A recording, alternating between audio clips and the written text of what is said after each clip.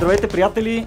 Много се радвам да ви видим тук на сцената на Рацио и на нашото Rooftop парти, което редовно правиме с Мозейко. Дълбоки благодарности на тях за предоставената възможност тук на този покрив да се забавляваме тази вечер.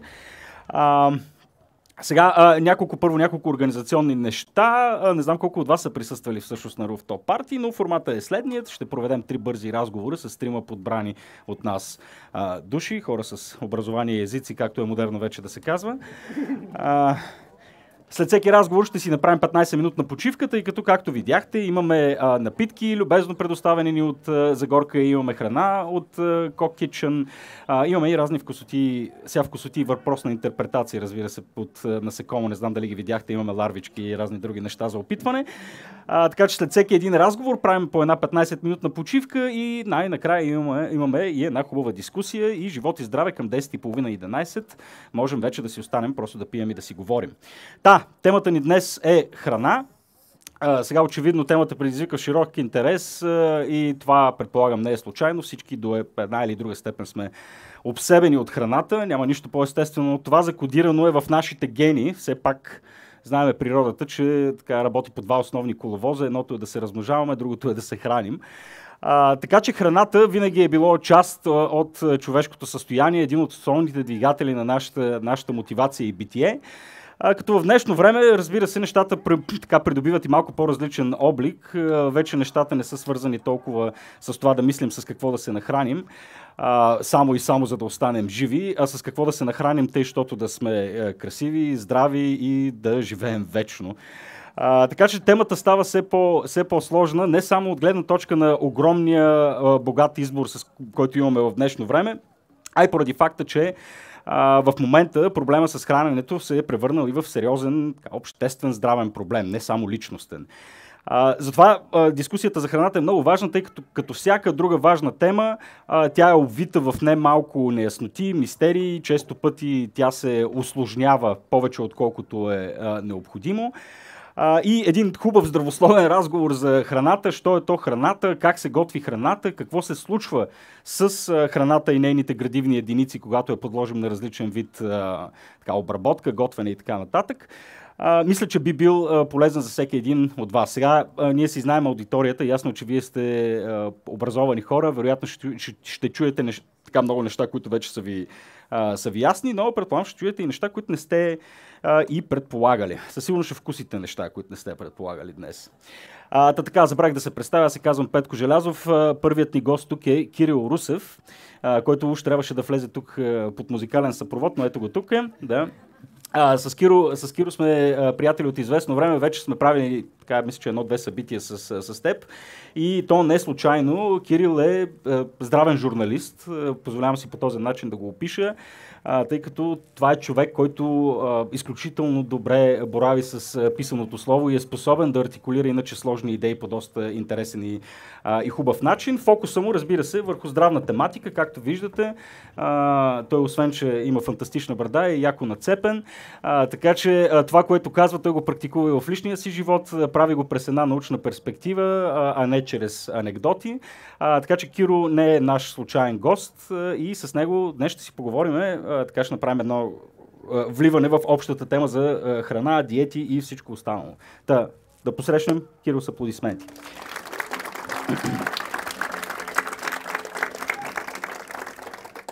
Така, да видим. Добре, тук не изпищяха нещата.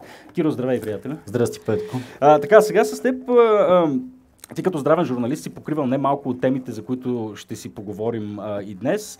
А, очевидно, фокуса и на твоята работа е в голяма степен да дадеш на хората а, информация, която да им позволи да живеят а, така малко по-здравословно, малко по-добре. А, и предполагам, че голяма част от поведението на тези хора е продиктувано от този проблем, който току-що аз всъщност постулирах. Нали? Че а, всъщност разполагаме с твърде много храна.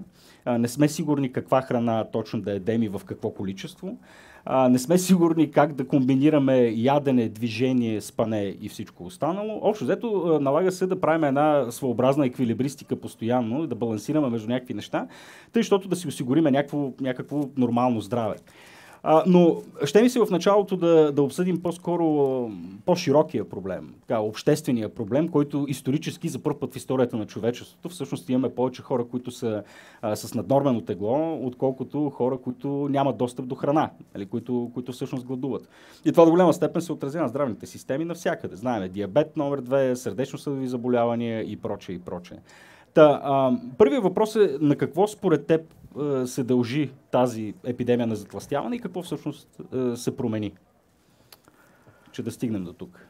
Според мен, а и според така, източниците, до които се допитвам, а, проблема е комплексен и той се държи на а, взаимодействието между много различни фактори. Mm-hmm. Сега тук, ако мога да ми изкарат първата графика, защото аз знаех, че ти това ще ме питаш или поне подозирах, mm-hmm.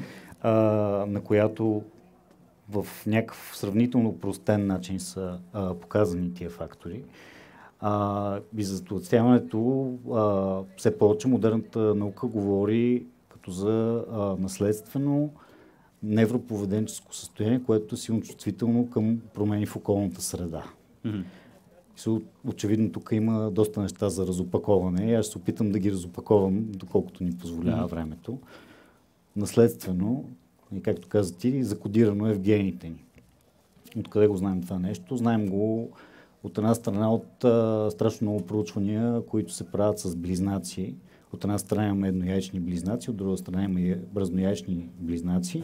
И съпоставянето между тези двойки близнаци, както и а, между самите близнаци в рамките на една двойка, ни позволява до голяма степен да а, установим каква е а, ролята на гените в а, развитието, независимо дали говорим за затластяване или за някакъв друг тип заболявания. И всъщност проучванията с близнаци, които се правят вече повече от 40 години насам, и метаанализите на тези проучвания показват, че а, вариацията, вари, вариабилността в телесното тегло между различните хора е около 85% а, се обяснява от а, наследствени фактори. Това е, само за да направя едно сравнение, доколкото знам, височината е примерно 0,8 и, е, и беше индекс, ако прием, че едно е 100% генетична зависимост.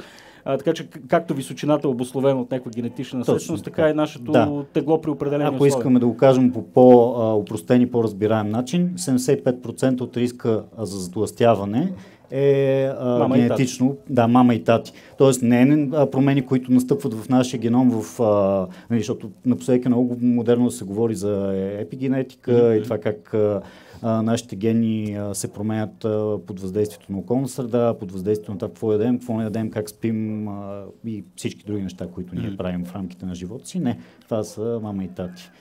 И всъщност се вижда, че еднояичните близнаци са много сходни помежду си в начина по който са склонни да напълняват модела на натрупване на подкожни висцерални мазнини. Това са мазнините, които са вътре в тялото. Независимо дали са живели заедно в рамките на целия си живот, т.е. Mm-hmm. те са били подложени на една и съща среда, или са били разделени още веднага след самото си раждане и са били отгледани в коренно различни mm-hmm. среди. Всъщност се оказва, че а, околната среда има сравнително по-малко влияние, отколкото... Като говорим за околна среда, говорим и за начин на хранене. Това ли казваш?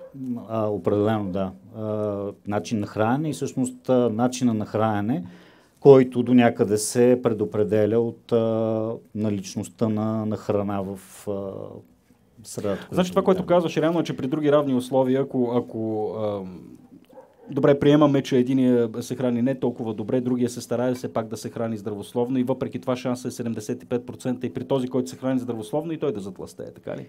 Или това, което се унаследява са едни определени предпоставки, които Те вече са, при да, определено тук поведение... става дума за риск, нали? То не е а, нещо, което задължително ли те не са обречени ли се случи да. така. Тоест, двамата имат възможност, нали, ако се държат по коренно различен начин, mm-hmm има възможност те да, да са различни помежду си а, в начина по който тежат и изглеждат. Но а, шансът е, че по-скоро ще са еднакви. Добре, генетичният фактор е ясен. Въпреки това, а, в смисъл какво въпреки това, всички, всички знаем, че формулировката е относително проста. Нали? А, говори се за това, че а, трябва да хабим повече калории, отколкото да приемаме. Да. А, това е в, Ако в, искаме в, в да губим телесна маса. Окей, okay, добре. А, и въпреки това а, имаме много случаи анекдотни, масови и така нататък, в които а, дори хора, които спазват а, стрикни диети, калориен дефицит, стараят се как, какво ли не Бога ми, Бога ми да правят, а, и, и въпреки това не се получава устойчив резултат. А ако погледнем някакви, някакви изследвания за, за кои диети работят и кои не, естествено, отваряме някакъв форум, виждаме, нали, това работи страхотно, това не работи страхотно, а, но в крайна сметка това, което преобладава е, че виждаме, че повечето диети не, не работят в крайна сметка. Какво, То даже има там едно клише за това, че 95% от диетите се провалят. Mm-hmm. А, това по, по никакъв начин не е научно устойностено. Всички диети работят и всички диети се провалят. Mm-hmm. А, диетите работят докато се спазват. Проблемът е, че голяма част от диетите не могат да се спазват а, за продължителен период от време. Тъй като самата диета не предполага човек да е способен да го ами, прави ами, това като, нещо дългосрочно. Значи то е чисто и биологично предопределено, ако mm. щеш. А, има едно понятие, което се нарича метаболитна адаптация към диетирането. И това е всъщност какво се случва с нашето тяло, когато започнем да го подлагаме на глад, защото каквото и да си говорим, независимо ние дали го усещаме или не, когато лишим тялото от енергията, която то се нуждае за да поддържа теглото си, то започва да гладува. В момента, в който тялото започне да гладува, особено когато тялото започне да губи а, от а, масата, която по продължително време е прекарало в това състояние, mm-hmm е, тук се говори много и в науката и за point на, на теглото, т.е. ако човек е прекарал дълго време в а, на определени килограми, след това тялото е много по-склонно да защитава тази стойност, отколкото да се стреми да я намалява. Mm-hmm. Или то, това също е до голяма степен е генетично предопределено. А, така че Диетите работят, да. Ти можеш да отслабнеш на абсолютно всяка диета, независимо дали тази диета те кара да ядеш по-малко, независимо дали тази диета те кара да ядеш по-малко въглехидрати или никакви въглехидрати, независимо дали тази диета те кара да разделяш хранителните си източници, всяка една диета има механизъм, през който те кара да ядеш по-малко и в крайна сметка ти докато ядеш по-малко ще отслабваш. В момента, в който отслабнеш обаче, тялото ти започва да се съпротивлява, ти тогава почваш да изпитваш страшно много глад, изпитваш склонност да се а, върнеш към а, предишния си начин на, на хранене и това не е съзнателен избор, това е чисто инстинктивно, защото тялото започва да а, изпитва все по-високи а, mm-hmm. позиви за, за глад, за домогване до храна, а, понижава се а, а, метаболитната активност на тялото. В смисъл, има проучвания, които показват а, сега да ти дам един пример, за да ме разберат по-добре и хората, които ни гледат. Ако а, тялото на един човек с затластяване харчи а, определена енергия на единица телесна маса, то тялото на един човек с нормално тегло харчи горе-долу същото количество енергия. Mm-hmm. Обаче, ако човек с затластяване а, успее чрез диетиране да постигне теглото на човек с нормално тегло, то тогава неговото тяло започва да харчи доста по-малко енергия. Mm-hmm. Тоест, той ще пълнее на килограмите, на които човек с нормално тегло по-скоро ще поддържа теглото си. И това са ни доста сложни механизми, включително и биологични, и психологически, които не само те, а, но в голяма степен предопределят провала на диетите. Особено когато а, диетите се практикуват в условията на, на лишения, когато те са ти забранени храни, които по принцип а, обичаш да консумираш, когато особено хора, които имат и а, такива подлежащи психологически проблеми, които а, имат проблеми с самочувствието, които имат а, депресивни състояния, а, те много по-трудно спазват диети и рано или късно а, да. просто спират. А, мисля, че е важно да уточним и това обстоятелство, че а, изследвания на хранителни режими, на прием на храна и така нататък са, са така, популационни изследвания, които са пословично трудни ам, и скъпи. Така че, по принцип, като боравим, вече тук ти ще кажеш, тъй като ти основно боравиш с такъв тип, тип информация, но а, като боравим с такъв а, тип изследвания, до каква степен ние можем да, да ги... Ам, да ги приемем като чиста монета. Знаеш за какво говоря, обикновено нали, излиза изследване, виждаш ли шоколада е чудесен, няма какво да се притеснявате, в следващия момент излиза шоколада всъщност не е далеч толкова чудесен. Виждаме изследванията, че са с сравнително малки популации, тук 30, там 50 човека. А, те са обикновено такива самодекларативни изследвания, нали, някой трябва да си спазва дневник, така че са изключително трудни всъщност за за осъществяване този тип изследвания. Ами, нали така? Те не само са трудни за осъществяване, те са скъпи, те са а, да, в повечето случаи са асоциативни, т.е. не знаем дали поведение А причинява изход а, Б mm-hmm. или по-скоро двете.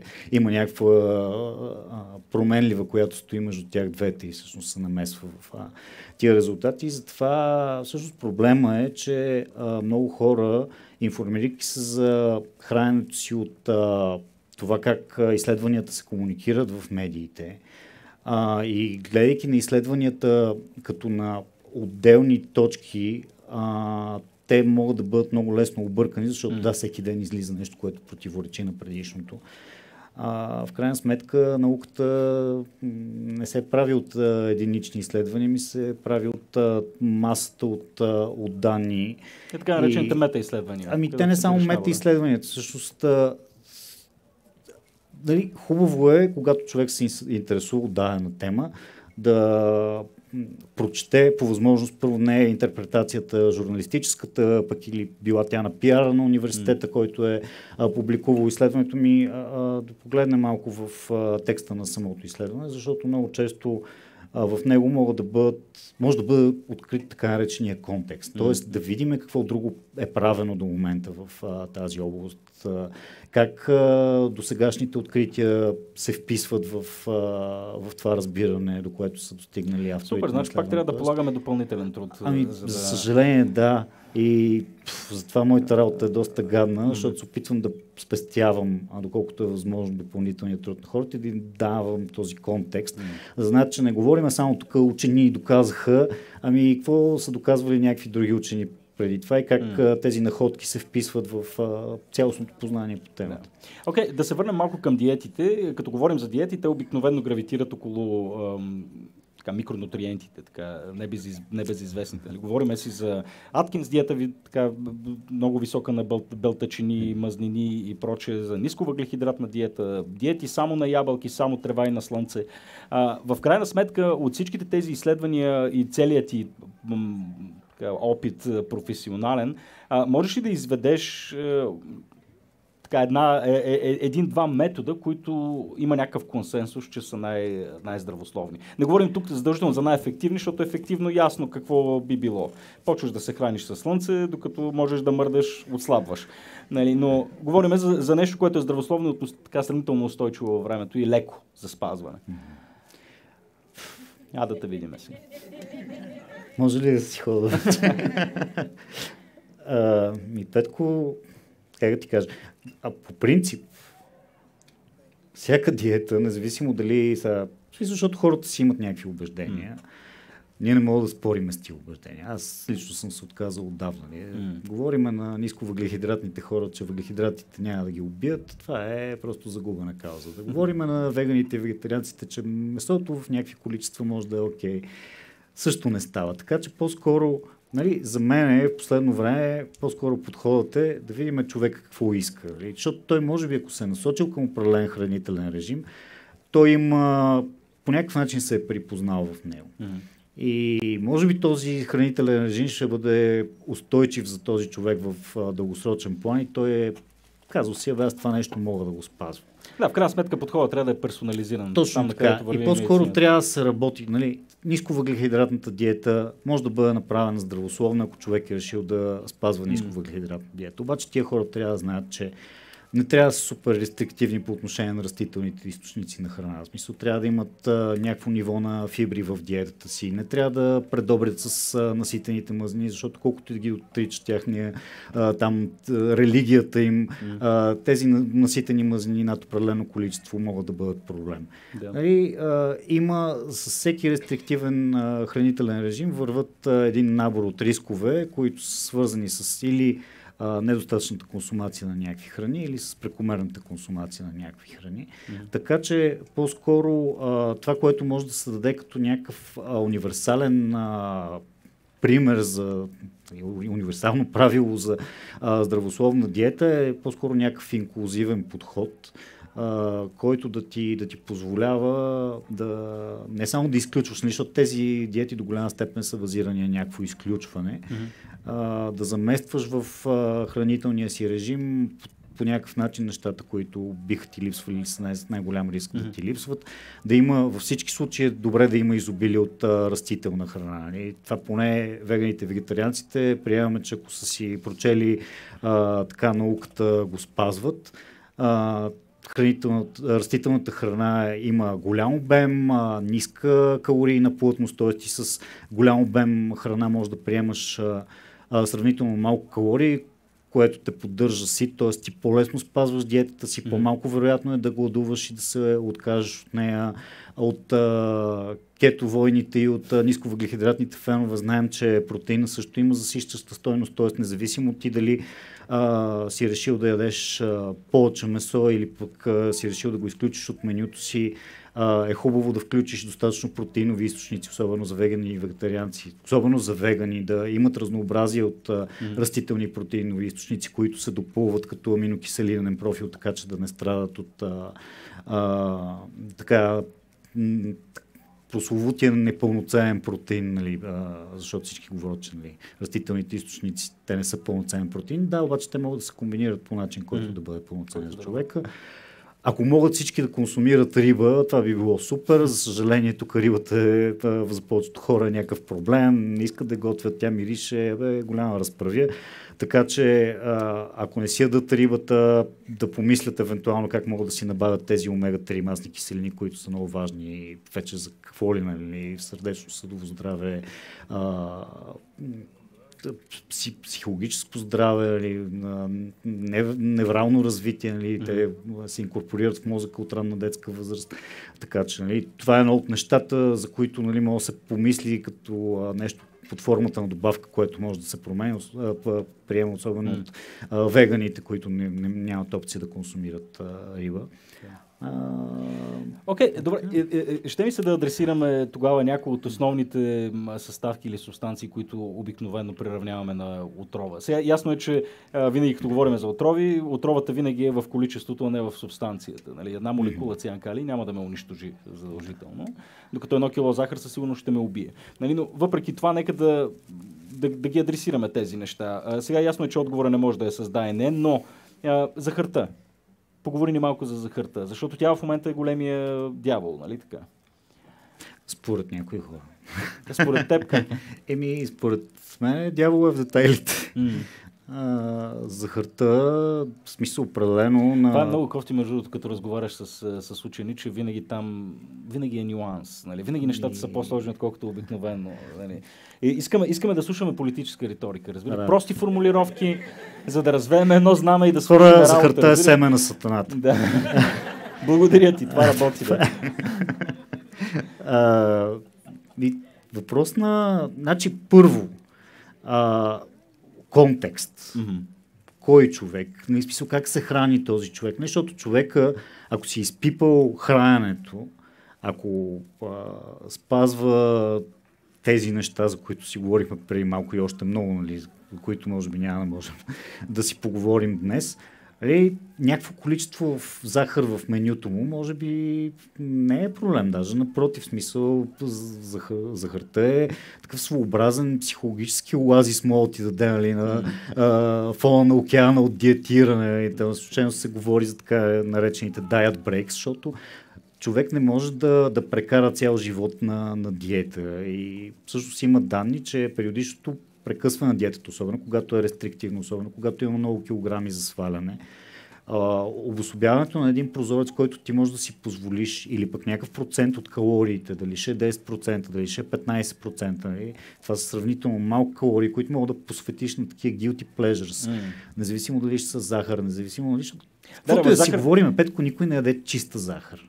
Да. Това е, че а, захарта сама по себе си, всъщност ние заедно с захарта приемаме един куп нали, други неща под формата на едни ултрапреработени храни. Защото никой не яде бучки захар от захарницата. А, ако говорим нали, за склонност на хората да пре, преяждат с определени храни, газираните напитки, които са с чиста захар, те са някъде много надолу в а, списка. Нали? Преди това имаме неща като шоколад, които не са захар, те са предимно мъзни в калорийно отношение. Имаме неща като чипс, като а, пица, като пържени картофи. А, така че захарта първо сама по себе си а, никой човек не, не прекалява с нея самостоятелно. М. После дори нали, а, супер консервативната световна здравна организация, защото те там много неща нали, казват не, не, не. По отношение на захарта имат една така доста либерална квота, която мисля, че беше 10% от калориите от добавени захари, след това ги смъкнаха на 5% от калориите от добавени захари. Това какво ще рече, че ти имаш едни поне 200 калории от добавена захар, което са 50 грама захар, които може да си позволиш да добавиш менюто си. Е, това не трябваше да го казваш.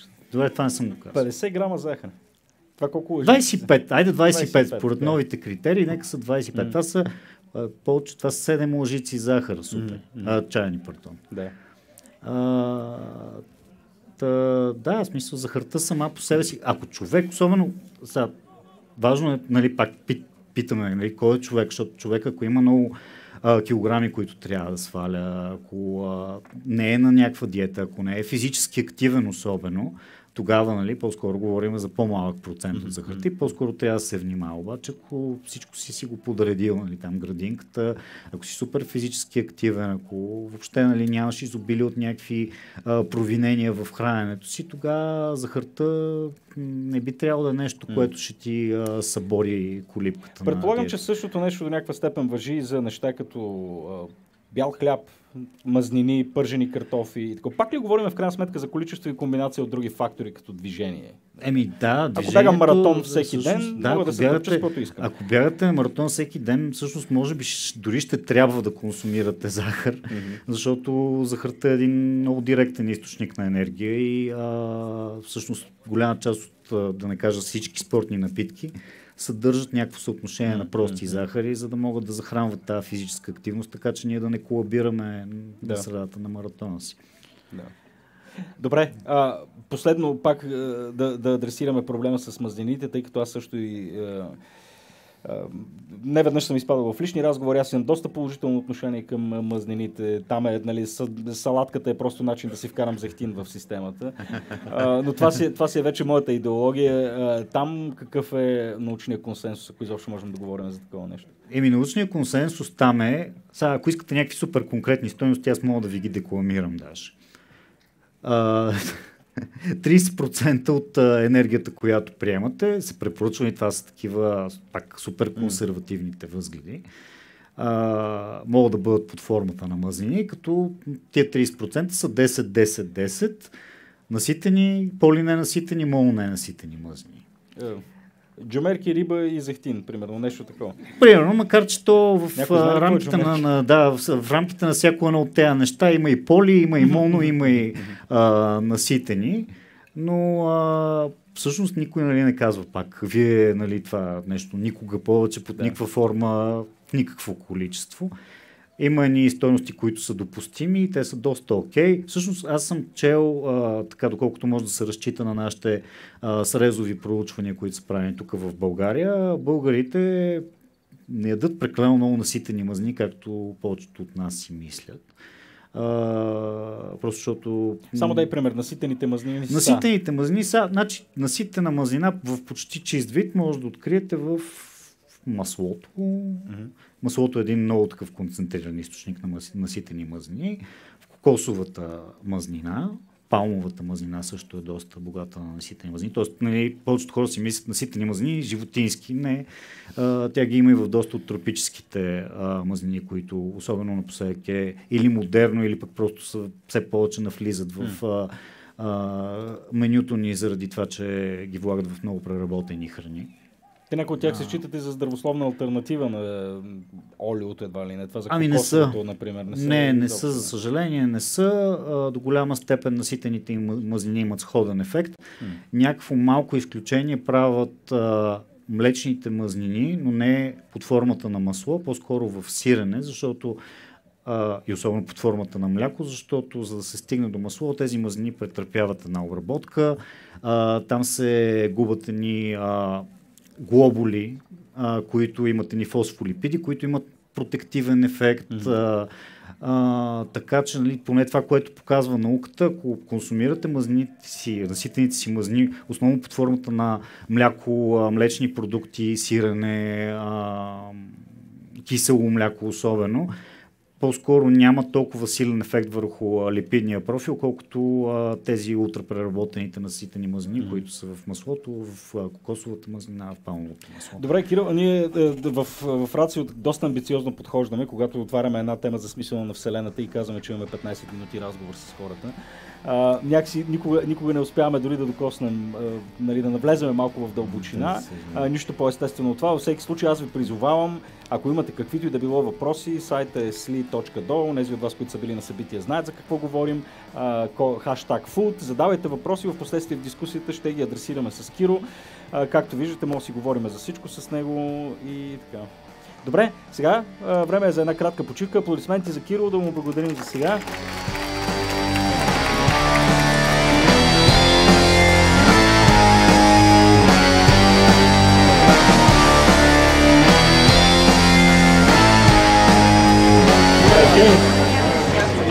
Така, супер ми е неприятно, че трябва да ви прекъсна интересните разговори. Радвам се, че се забавлявате.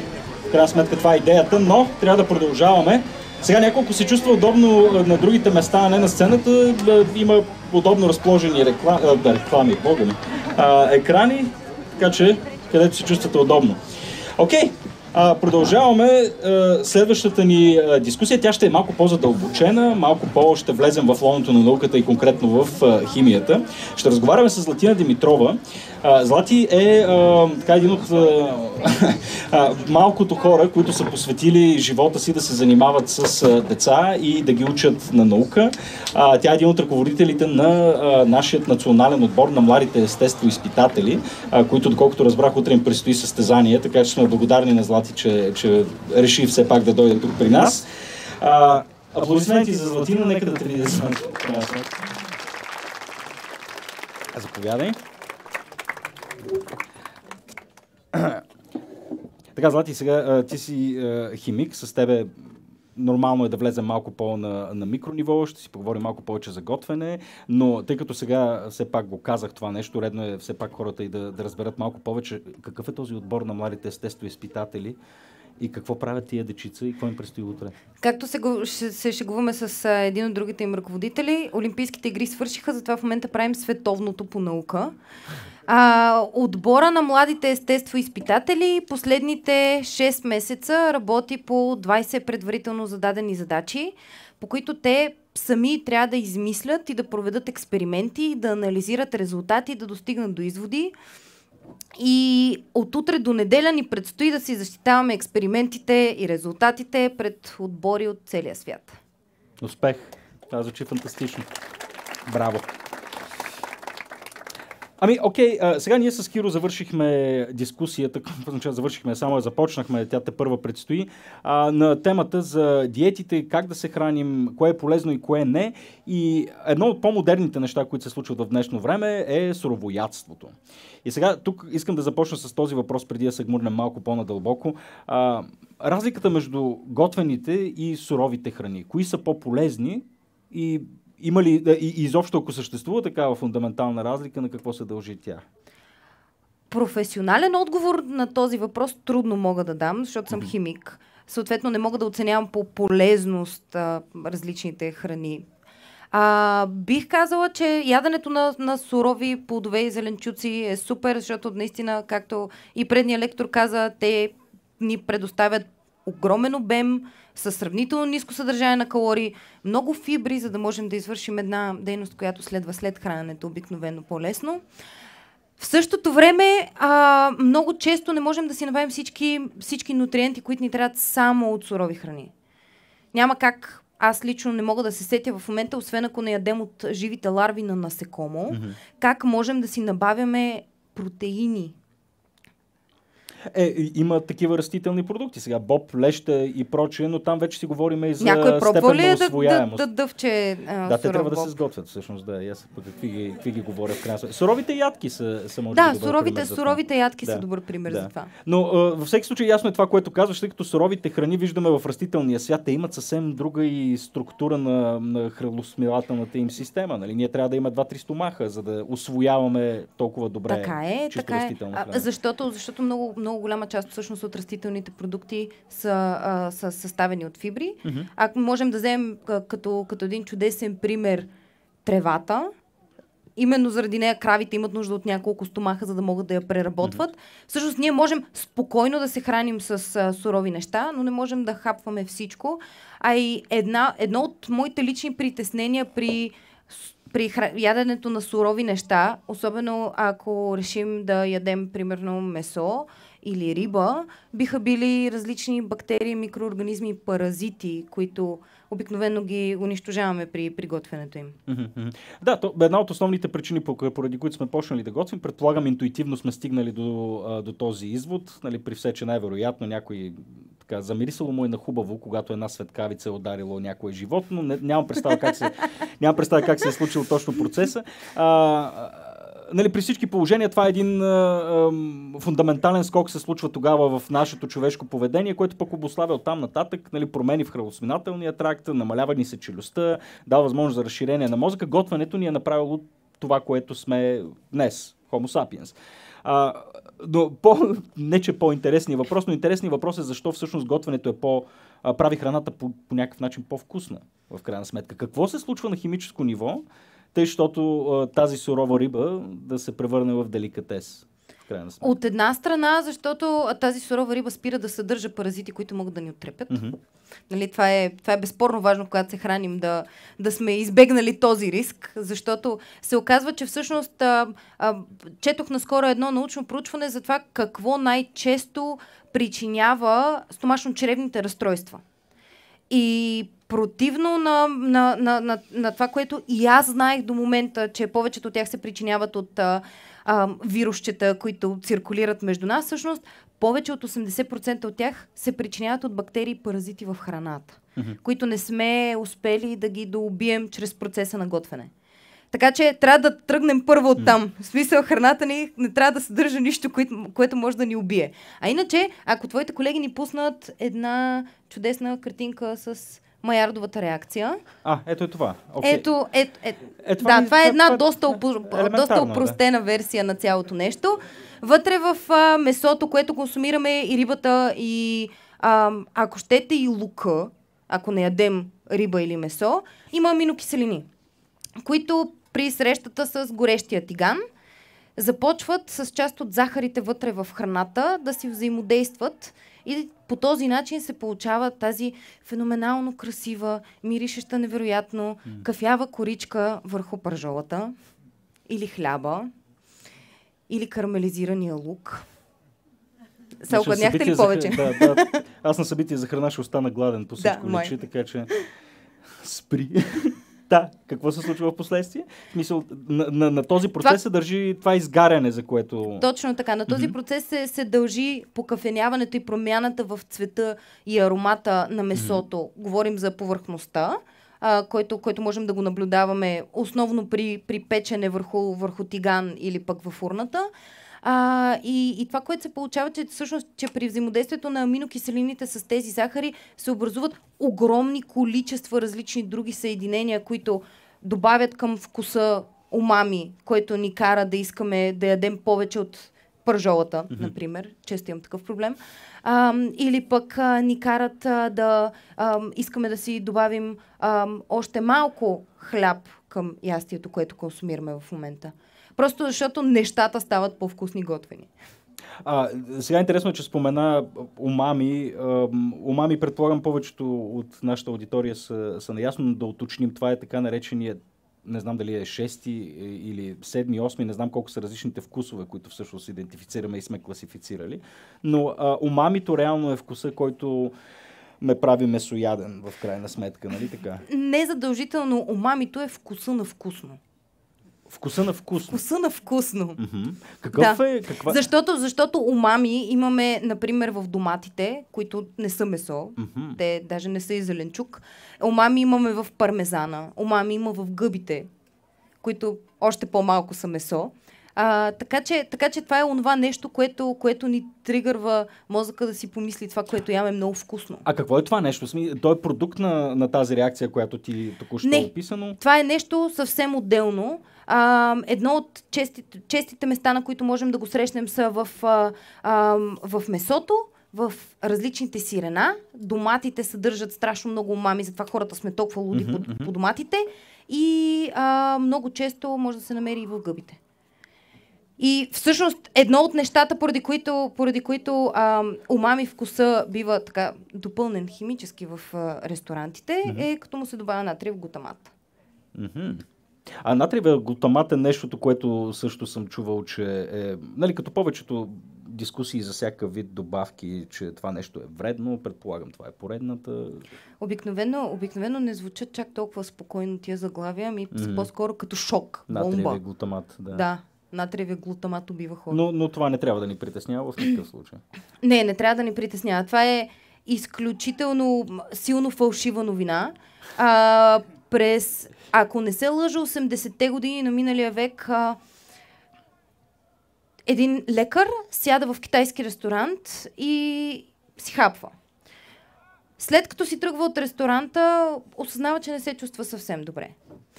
А, на него му се гади, повръща му се, вие му се свят, чувства се изтръпнал и решава, че проблемът е в храната, която току-що е консумирал.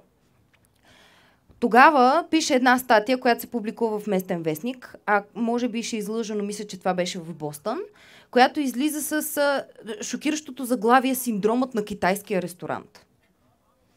Защо? Защото се оказва, че този човек, както и много други, са изпитвали подобни, а, подобни болешки и неприятности след като са се хранили в китайски ресторант и обвиняват за това нещо натриевия глутамат.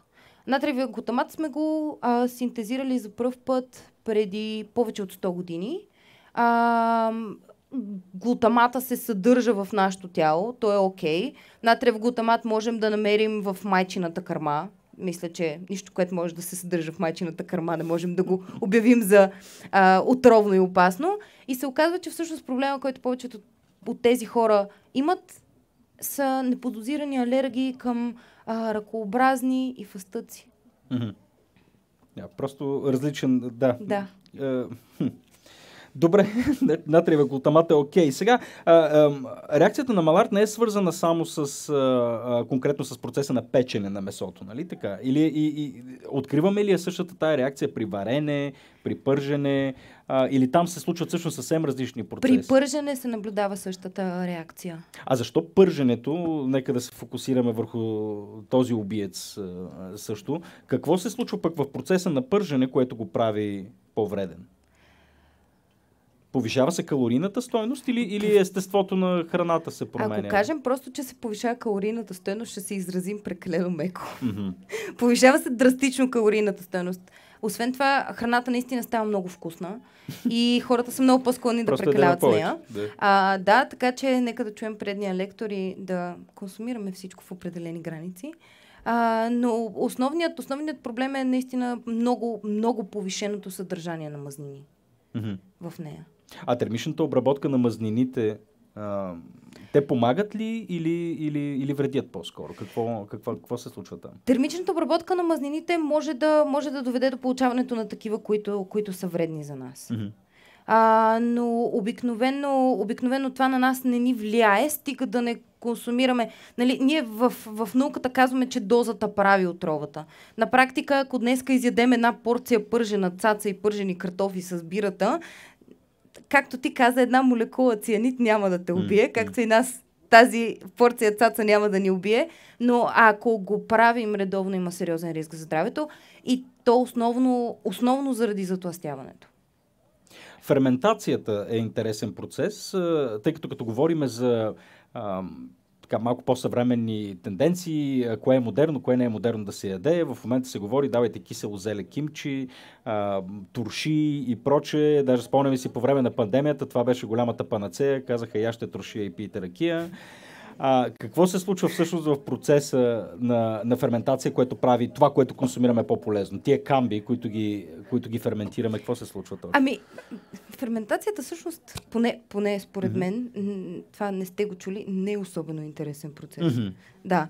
В смисъл, накрая това, което получаваме са едни полезни за нашата стомашно-чревна флора бактерийки, които ни помагат също както фибрите да вършим работата след яденето много по-лесно. Но и не само това. Но и не Нали? само това. Не. Да. Това е ферментацията и, и, и това, което ние правим с туршиите и с киселото зеле, е един страхотен начин в, а, в а, моменти, в които трудно се намират качествени, хубави плодове и зеленчуци, ние да си набавим всички витамини и микронутриенти, които имаме нужда от тях. Така че, така че това е супер. А, Ферментацията в този смисъл съхранява хранителната стойност на, на различните храни и даже добавя заради тази бактериална флора, за която говориш, която се Да. обогатява. Което, което при туршиите не съм сигурна дали става, но при киселото зеле със сигурност. Мгм. Но при туршиите пък имаме огромни количества сол. Да, което е един от огромните проблеми за българите. Какъв е проблема с солта всъщност? Проблема с солта е, че а, тя води до много, много сериозно повишаване на кръвното налягане.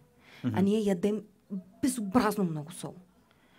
Преди няколко години бях а, попаднала на едно, а, на едно проучване, което сравняваше консумацията, консумацията на сол в различните диети в Европейски съюз. Познайте кой е на първо място. Ама И- това се дължи това- на някакви основни храни, които ние консумираме, като туршия, например. Това така се ли? дължи основно на ам, бялото сирене, което присъства почти всеки Ха. ден на масата ни, защото то е много солено.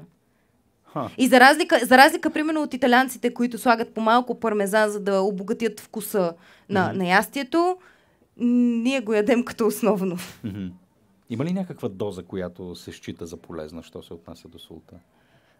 Да, имаме, имаме препоръчано от Световната здравна организация а, количество сол, което трябва да приемаме всеки ден, но няма да се ангажирам да казвам число, защото вероятно това ще бъде грешно.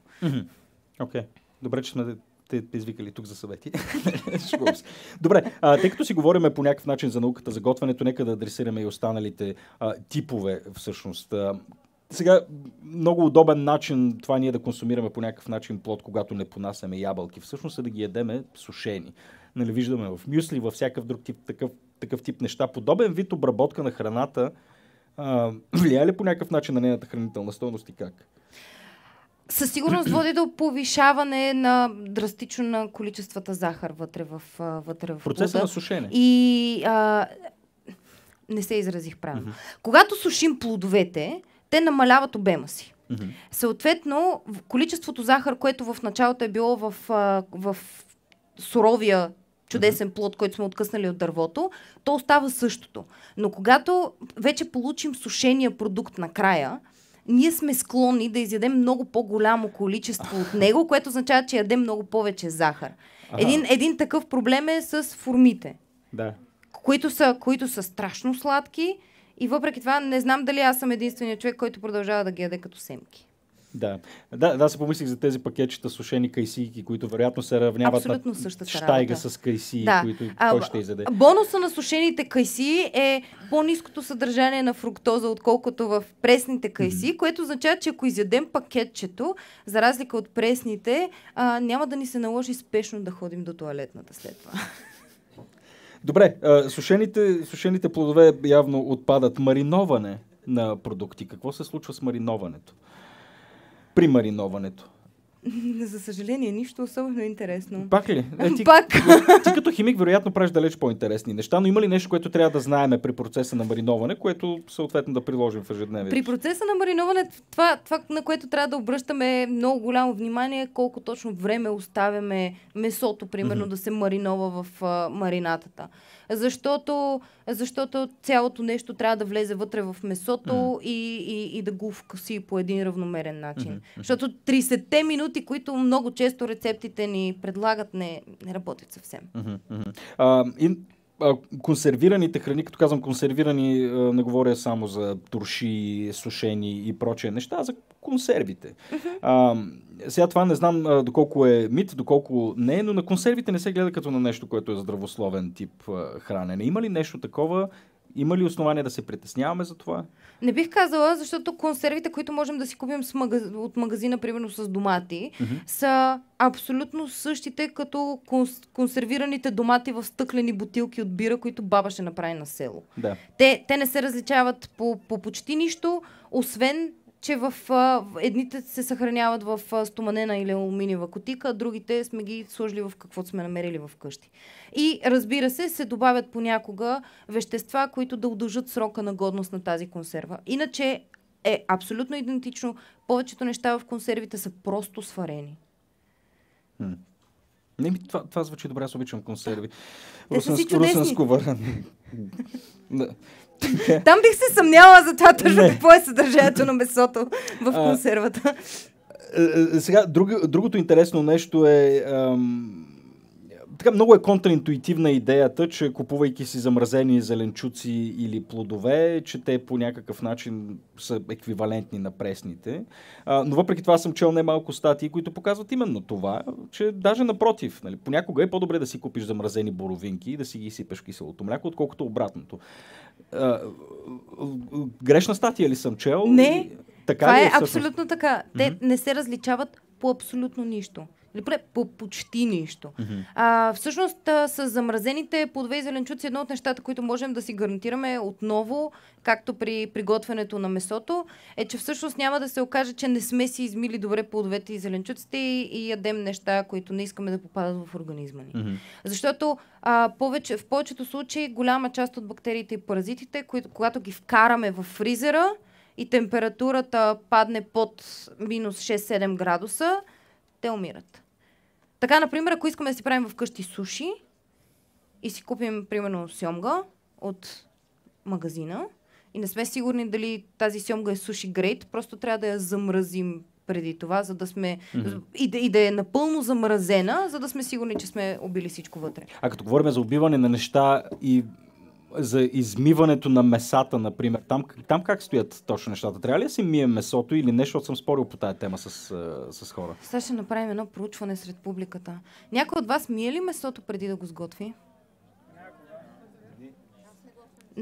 Много се, много се радвам, много се радвам, че толкова малко хора вдигнаха ръка. Това що е проблем. Сега ще помоля хората от апаратната да пуснат видеото с а, пилето. Това е грешното видео, но ще ни свърши работа. Сега, Имаме едно страхотно пиле, което ще се срещне след малко с фурната, ще се случи маярдовата реакция и ние след това ще си оближим пръстите.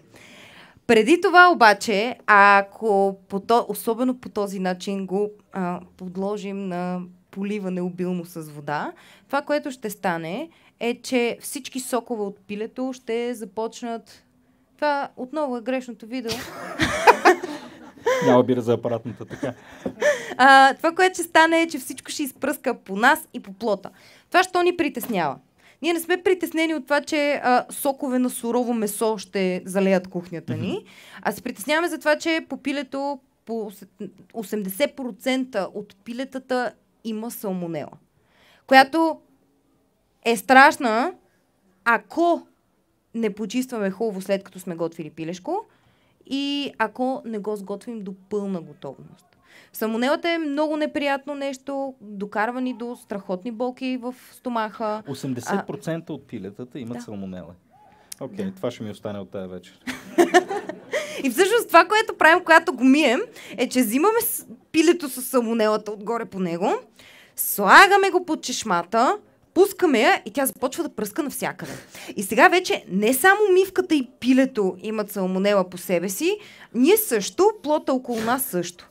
Затова, ако трябва да готвим пиле, всъщност трябва да го попием с а, салфетка хубаво, да го, а, да го почистим, ако има някаква течност останала по, по него заради седенето в хладилник и да го обработваме с подправките. И най-важното е да си мием ръцете всеки път след като сме пипали пиле и яйца и хубаво да избърсаме всички повърхности и всичко, с което сме работили. А това отнася ли си и за други типове меса?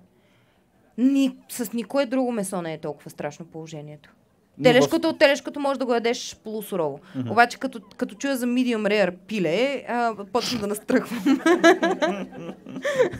Добре, а, нека да адресираме тогава някои от митовете за, за готвенето. Най-интересният и най-популярният от които е а, този свързан с микроволновата фурна. Аз лично имам а, така, съседи, които отказват да ядат претоплена храна в моята микроволнова фурна което ми причинява изключително неудобства понякога, но кажи ни за микроволновата фурна и защо тя всъщност не вреди, за да спомена директно.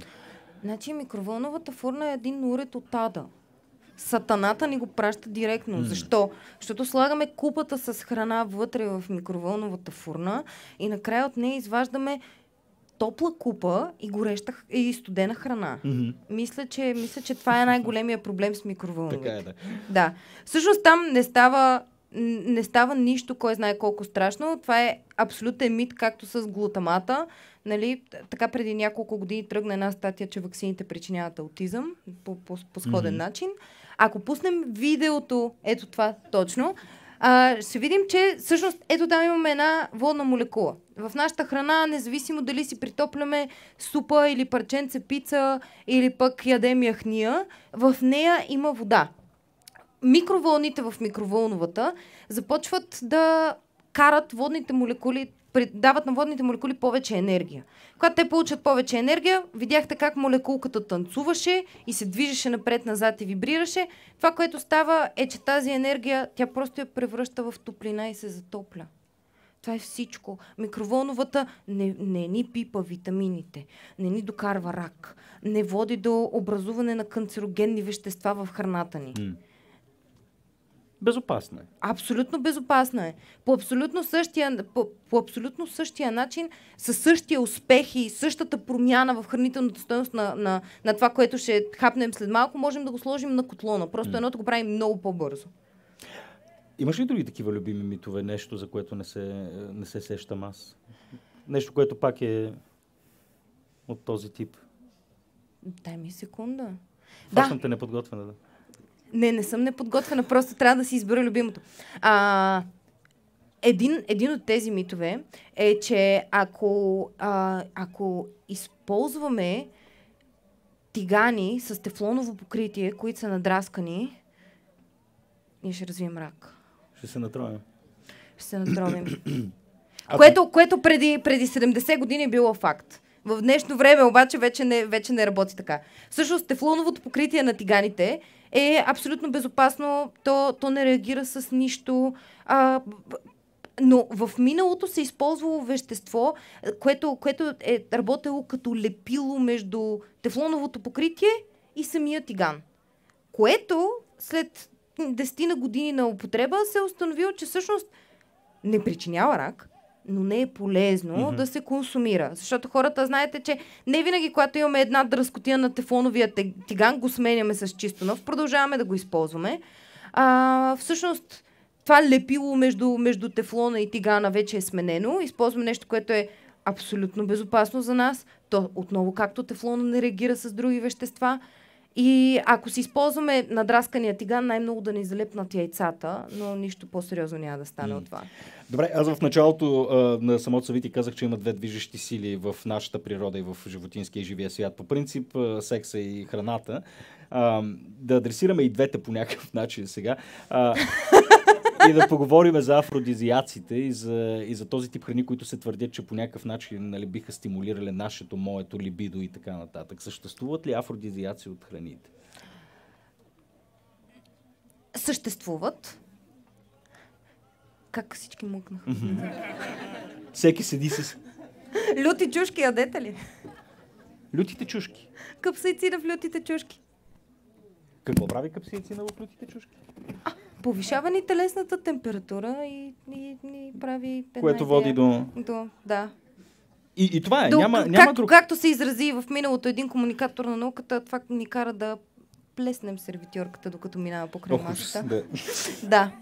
Но капсаицина, да.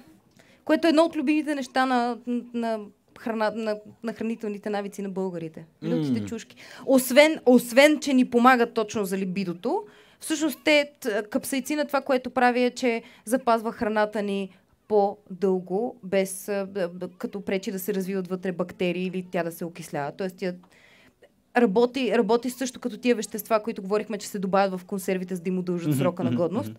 Просто го прави с храната ни в хладилника. М, чудесно. Да, хубаво е, че се балансират малко нещата, че нали, хем са афродизиак, хем пък едновременно като ги консумираме ги с неща, които обикновено не свързваме, не са, не са много еротични като ефект. Нали, след едно шкембе, нали, колкото и да ми е високо либидото, не знам кой ще ме приближи, примерно, но Аз затова съм си намерила нещата. партньор, който яде шкембе.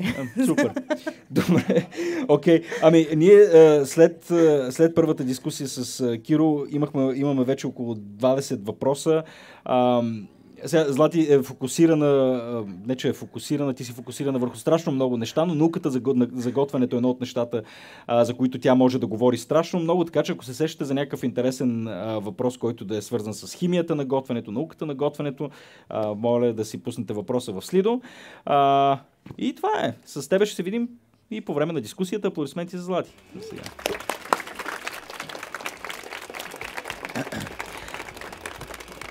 Добре. Окей, трябва да плъгна и това нещо, между другото, като си говорим за науката за готвенето, това е едно фантастично тежко нещо.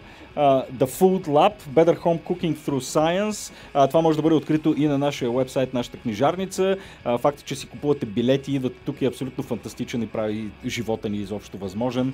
Деца вика, лампите светят благодарение на това. Та, ако, ако си търсите и друг начин да ни, да ни подкрепите, и това е един от начините на нашия вебсайт, имаме си магазин с готини книги и тази е тематично подбрана по този повод, струва 120.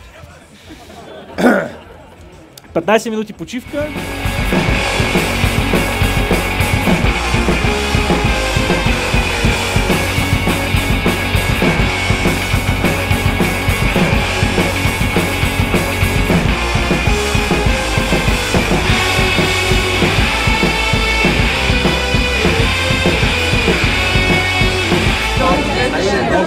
Отново с огромно неудоволствие трябва да ви призова обратно на сцената или пред телевизорите, където се чувствате по-удобно. И в следващите 30 секунди ще представя следващия ни гост. Тя е представител на компанията на Секомо. Хората, благодарение на които имаме привилегията да опитаме това песто от ларви, с което си хапвахте долу нещо. Се, не знам дали е от ларви това песто. Най-вероятно не е. Но, ам, Тук ли си? Да, здрасти. Добре, а, иначе по повод компанията на Секомо, така стартираща компания, а, сравнително, сравнително нова. А, българска е една от малките, малките компании в Централна и Източна Европа, които се занимават конкретно с а, култивирането на един определен вид насекоми за храни и фуражи. Та, а, Симон Димитрова вече е на сцената. Моля да я аплодирате, да я посрещнем с добре дошла. Те на. А, така, Симон, с теб дискусията ще е малко по-различна от останалите, тъй като ние с теб ще си говорим за альтернативен начин на хранене. А, насекомите напоследък събират, така, не че събират популярност, все още са доста фринч като, като идея за това да се храниме с тях, но във всеки случай вече влязаха в а, публичния обществения дискурс. А, по повод това, че отново се срещаме с дилемата, че населението ни прогресивно нараства, става все по-трудно да, да изхранваме човечеството устойчиво по устойчив начин. И сега в момента гледаме към насекомите като някакъв альтернативен вид а, храна, чрез който да си, а, така, да си запълваме диетата. А, при все, че те са нещо ново за нас, всъщност яденето на насекоми не е нещо съвсем чуждо на човешкия вид, даже напротив. Нали така? Абсолютно е така. А, както много от вас попитаха в някакъв момент днес, 2 милиарда хора по света ядат насекомо и това е от хиляди години насам. Това е основно в а, развиващите се страни. Ам, може да се обясни с частта, а, в която развиващото се общество, където няма богати ресурси на всичко Мгм. необходимо, доста по-лесно е да си хванеш скакалеца и да си го отгледаш, отколкото да си, да си отгледаш теле. Нали, От тази гледна точка абсолютно разбираемо е защо сме стигнали до... защо тези общества са стигнали до този момент. За нас е доста по-ново, защото ние сме малко по-глезени. да, ние сме имали всичко необходимо, чисто индустриално а, погледнато, но а, на европейско ниво в момента, точно както каза ти, трябва да погледнем към глобалното развитие, какво правим на тази планета и как да го подобрим, защото това е пътя. А, само една крачка назад. Е, твърдиш, че има традиционни култури, които си отглеждат насекоми в домашните си стопанства, така ли? А, тъй като аз съм имал привилегията да отида в Юго-Источна Азия, където разхождаш се в един пазар, има една огромна софра с всякакви боболечки, които можеш да консумираш, но някакси не съм си представил, че бабата на село там си гледа скакалци.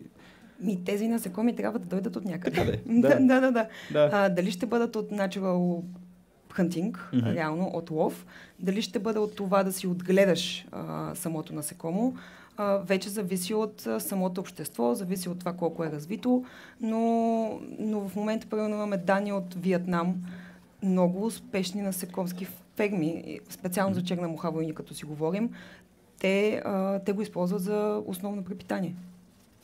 А, а какъв тип насекоми се консумират? Сега аз казах там, че бюфета изглеждаше изключително богат и странен неща, които не бих докоснал по принцип. Мгм. Нали, готвени по всякакви разнообразни начини, най-вече пържени, между другото. Не знам, ти ще кажеш дали има причина за това, но какъв тип насекоми предимно се, се консумират по света? Предвид факта, че насекомите като цяло са 80% от животинското царство, нали, нека да си го представим как изглежда това, това са изключително много видове, а, има, има изключително голямо разнообразие. Това, което реално е, а, реално е известно, е хлебният червей, примерно. А, може колегите да покажат снимка на Хлебният червей. хлебния червей. Хубав, сготвен, доста приятно изглеждащ хлебен червей. Той всъщност е първия вид ам, в Европейския съюз, одобрен от Европейския съюз. М. А, за консумация това става началото на тази година. Сухата форма на хлебния червей.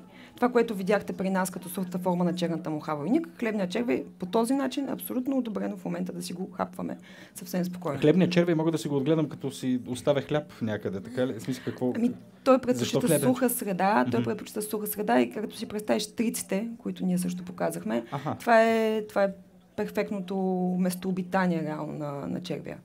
Оттам нататък вече имаш... Ам, мога да пуснете ескамолес. Това е изключително странно нещо, наречено ха, ам, Сигурен съм, че е привлекателно. да, хавера на, на, на пустинята. Това е основно препитание в Мексико. Това е от мравки, всъщност какавидите на специален вид мравки. А, наистина прилича на ориз. Се... Или на ньоки, да. Ако, ако нали, нали, моля, ако изглежда страхотно ужасяващо някой да си каже, а, оттам татка вече черната муха войник, тя е а, в Европа е ам, се използва за животински фураж, като става въпрос за кученца, котки и рибки основно. Това Но всъщност е, извинявай, че те прекъсвам, това, това е насекомото, с което вие боравите в момента. Това е, това е нашето насекомо. И това е нещо, което си похапвахме долу от чинийката, това Точно. е сухото нещо. Точно да. така. Но този вид, а, но този вид в а, Африка, Азия, а, Южна Америка абсолютно спокойно се консумира, няма проблеми. И... В смисъл сурово. Кацате муха и вместо да я убиеш... В смисъл, е, е, предполагам, че да, това е много глупав начин да си задам въпроса, но е, задължителен ли е някакъв вид обработка на, а, на, на тези насекоми, преди да минем конкретно към спецификите на, на въпросната Естествено, муха? когато става въпрос за безопасност, винаги е хубаво да има термична обработка, както, както си говорихме преди малко. Да, Ам, рецепти всякакви. да. Така че много зависи просто от персоналния вкус. Може да си го изсушиш, може да си го изпържиш, може да си го направиш на кюфте, ако искаш. да. Това е, това е концепцията.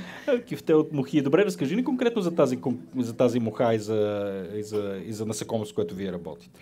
Насекомото, с което ние работим, както споменахме, черната муха войник, това е изключително ам, приятно и а, приветливо изглеждащо създание според нас. Вашата реакция беше изключително очудваща, очудваща за нас, защото вие, вие показахте, че сме доста отворено а, общество М. и, и, и всеки беше хайде сега да пробвам нещо, което е изключително интересно. А, тази муха реално има, нали, ако тръгнем от това защо тази муха, една женска има способността да снесе 900 яйца долу-горе. Нали, естествено, В рамките на жизнения си цикъл. да, в рамките на жизнь. Една, една женска снася само веднъж. Мгм. А, това естествено много зависи от а, условията, защото те са изключително фенотипно адаптивни, mm-hmm. което означава, че ако а, оптимума на температура и на влага не е достигнат, тук говорим за 30 градуса температура и 30 градуса температура и 70% влага долу-горе, ако този оптимум не е достигнат, а, нали, от 900 ще станат 400, абсолютно mm-hmm. адекватно. Ако всичко е перфектно, може 1000 и 1200 да станат. Mm-hmm. Това, е, това е едно от доста приятните качества на тази муха. Другия факт, че цикъл е 45 дена, целият цикъл, което е изключително бързо. Това прави 8 поколения на година. И изключително всеки ден ти можеш да изкарваш индустриални количества продукт, какъвто и да е той. Това е другия плюс, защото този цикъл при дори насекоми е доста по-дълъг, доста по-вариращ от условията, примерно.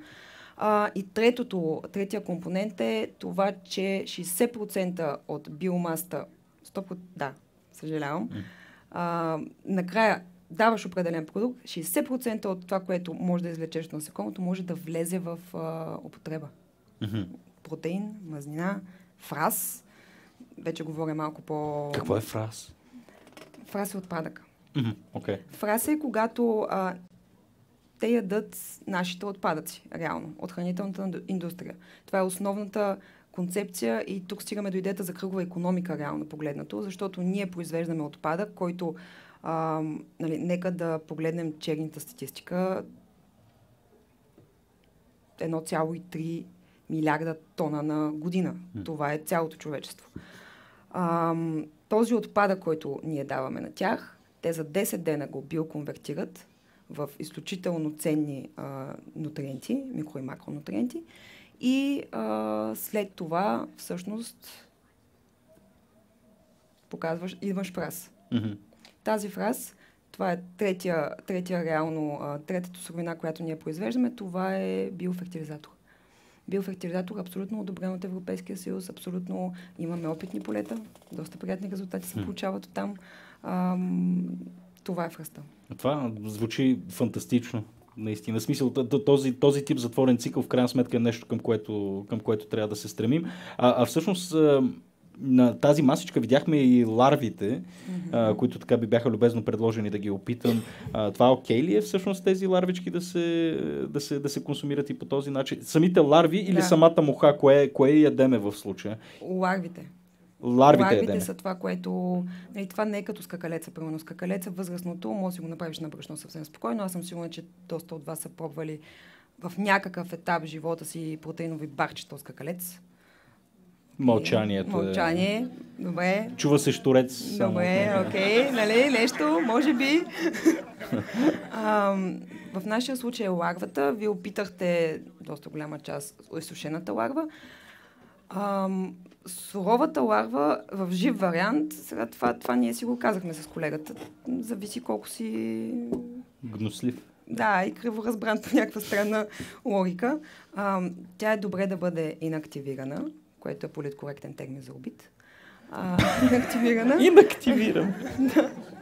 Тя е добре да бъде инактивирана, а, нали, за да може след това да има термична обработка и реално mm-hmm. да постигнеш нещо вкусно.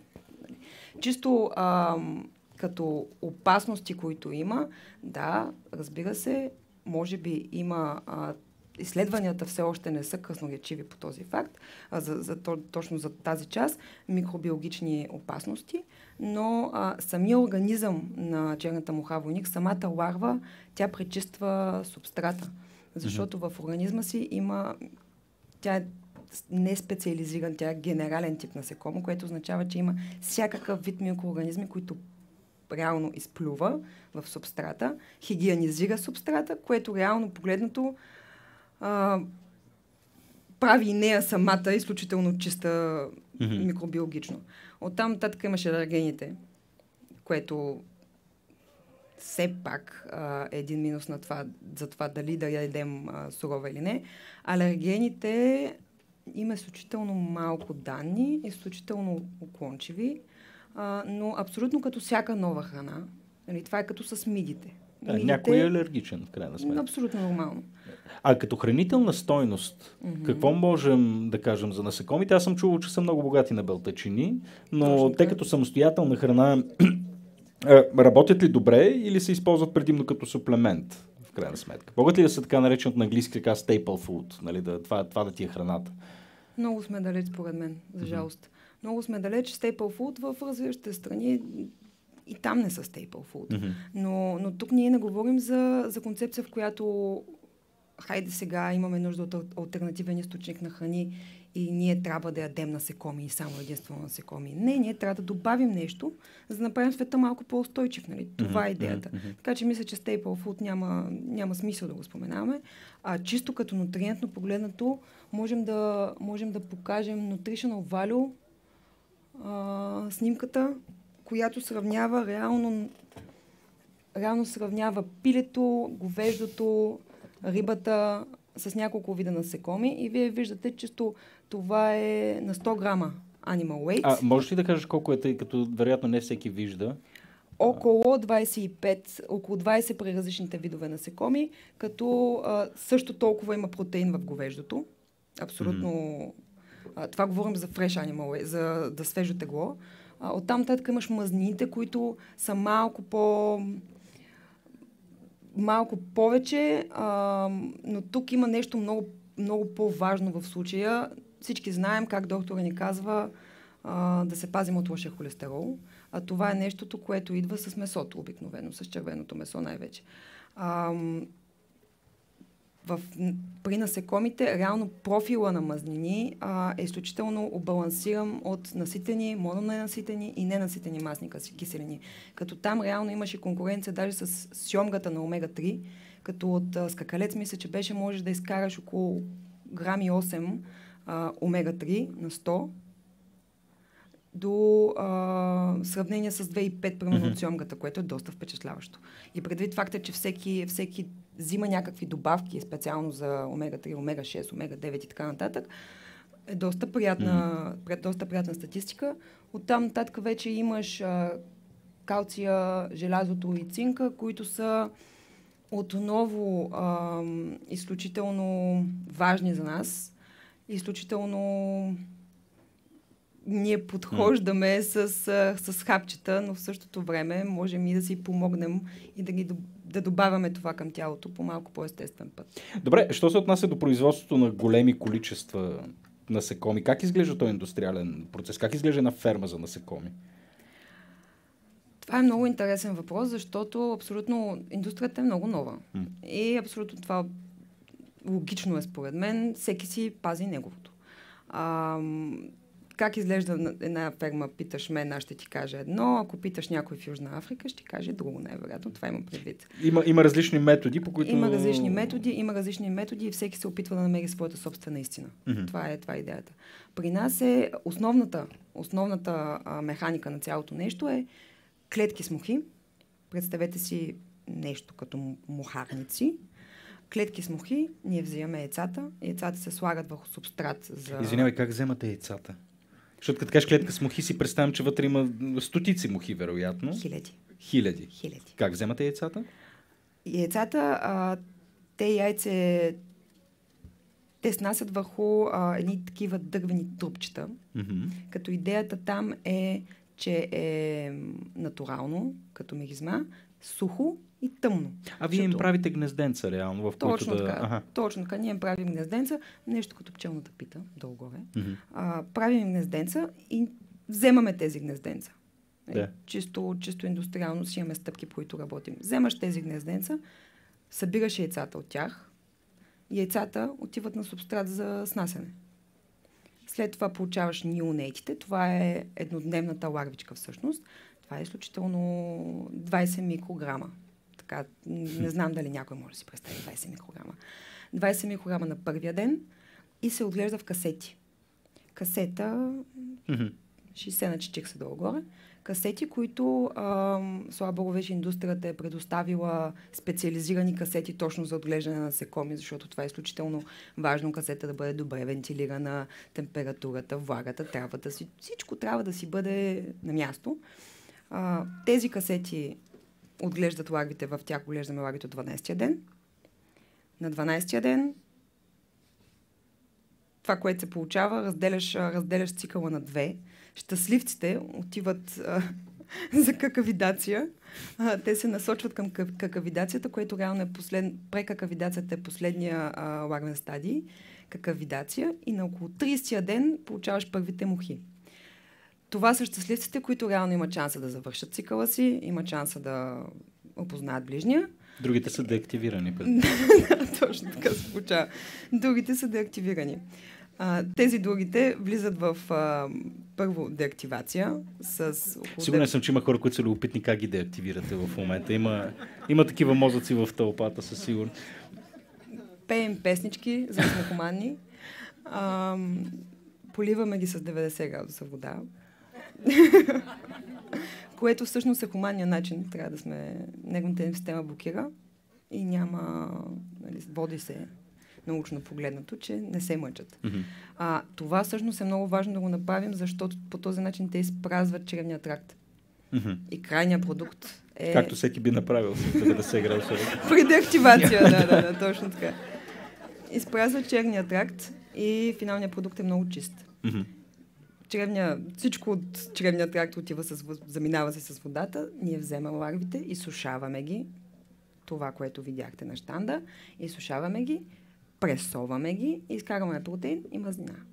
Протеина и мазнината отиват за, специално в нашия случай, с това насекомо, отиват за храна на рибки, кученца и котки. Условно погледнато. Хм. Така изглежда индустриалния процес.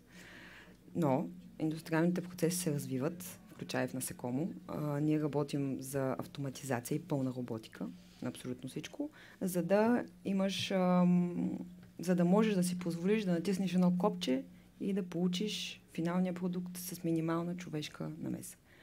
Но това е, това е нещо, върху което работят около 30 на човека и се развива а, изключително успешно, но естествено да, пред вас стои предизвикателството, че сега няма нужда да убеждаваме кучки. Е, кучки. Боже, господи, кучета и коти. Добре. тук, се, тук се сетих, между за думите на, на великия Хиченс, който обясняваше, че нали, като почнеш да храниш и да поиш едно куче и да се грижиш за него, то а, започва да те възприема като Бог. Нали, когато почнеш да, да храниш или да поиш едно кота и да се грижиш за него, то възприема себе си като Бог. нали, това, това е голямата разлика. Но мисълта ми беше, че а, нали, няма нужда животните да ги убеждаваш а, какво, какво, какво да ядат, но при хората е съвсем, съвсем друг проблем. В смисъл пред вас стои да преодолеете и тази психологическа граница, която, не знам, на мен ми се струва интуитивна в крайна сметка mm-hmm. да ядеш богомолка не е много. нали, не знам, не. Не, не, не би идвало отраки, предполагам. Не съм, не съм сигурен. Може би това се дължи на факта, че съм западен човек. Бял е относително. Зависи от обществото. Точно така, да, зависи от обществото, да. А, така че, а, не знам, въпросът ми, предполагам, тук е, имате ли а, някаква стратегия в тая посока, в крайна сметка и ако да, моето предположение би било, че това а, неизбежно ще се върти около а, това как се използва всъщност крайния продукт на, на целият mm-hmm. този процес, за който, за който ти говориш. Сега ти спомена протеинови барчета, но съществува ли такъв вид а, индустрия, която се занимава с... А, така изкуството на кулинарията, нали, да, да, да, да, вкарват насекомите в така наречат мейнстрим кулинария в Смятам, че също и, и тази част е доста на основно ниво, но ам, реално тук е много интересно, защото малко става един такъв затворен цикъл, който е доста неприятен. А, за да разреши Европейския съюз пълната употреба на, на всички безопасни видове, трябва да има данни. А за да има данни, трябва хората да ги следват. Ако изследва... Трябва да ги консумират. Да. да. И става едно такова много интересно а, точно цикъл, виша съркъл, а, който, който в момента Смятам, че вече има леко раздвижване, не е толкова зациклило, но има, има организации на европейско ниво, които се борят всеки ден за това. А, регулациите се променят. Реално през 2015 беше вкарана, това е първия пробив на, на насекомския пазар в Европа. През 2015 беше вкарана регулация, която се задейства от началото на 2017, мисля, за консумацията, за добавка. Насекомите официално станаха иновативна храна. Mm-hmm. А, и всъщност оттам нататък ти имаш право да кандидатстваш твоя вид насекомо да бъде одобрен Или за фураж, или за храна, зависи как ти, как ти се развива бизнес плана. Но това е една много, много, много а, добра стъпка, която направи Европейския съюз.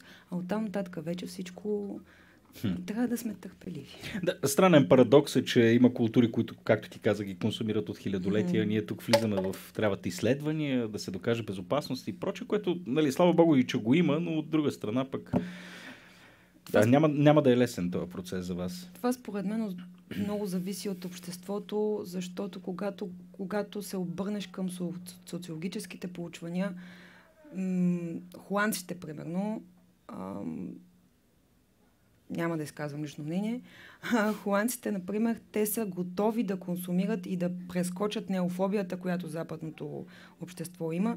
Те са готови да консумират, защото осъзнават факта, че това би довело до по-устойчив свят. Mm-hmm. А, и тук вече идва образованието на глава население, качеството на образование на глава население, mm-hmm. това колко се говори за темите табу, защото насекомите все още са теми табу, тема табу. А, и колкото по, повече говорим, колкото по-отворени ставаме, толкова повече стигаш до различни хора и бавно и полека и ние ще бъдем окей okay mm-hmm. да продължим в тази посока. Ми, прекрасно, аз се радвам, че ние сме всъщност част от този процес. Сигурен съм, че не малко хора тук се убедиха, че насекомите са безопасни и ги консумираха директно. Ако не сте, имате още една възможност, още една 15 минутна почивка. Да благодарим на Симон за това участие. Много благодаря. Окей, okay, последна почивка а, и след това преминаваме към дискусия. Последен шанс да си зададете въпросите и аз после ще ги селектирам и ще ги задам на нашия панел от гости. Почивайте си.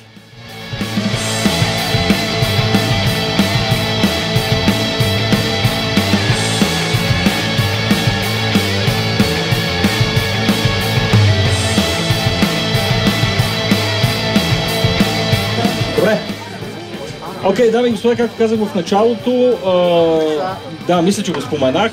Нашите приятели от Foodbox, а, които са създали едно страхотно приложение за това как да не уействаме или да не губим, да не губим храна. А, имаха една а, така, своеобразна игра, томбола и сега искам да поканя а, Джейн да дойде тук и да обяви победителите от тази игра. А, има микрофон.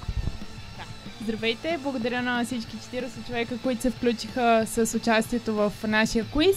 Имаме трима победители по точки и един случайен победител, тъй като от 10 въпроса средно аритметично а, оценката беше 5 от 10, което говори за сложността на квиза. Така че честито на Орлина Апостолов, който отговори с 10 от 10.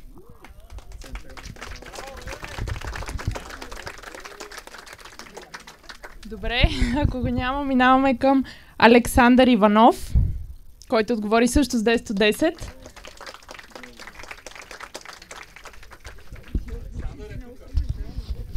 Супер! Честито! Мерси. А, ще получиш ваучера по имейл всеки момент. Браво за участието. А, минаваме към Аня Стоянова. Супер! Аня а, отговори с 8 от 10 верни отговора. Анна се казвам, Аня ми е имейла, да. Благодаря. И картичка. Много благодаря. Благодаря на теб. И минаваме към случайно изтеглената Бени Иванова.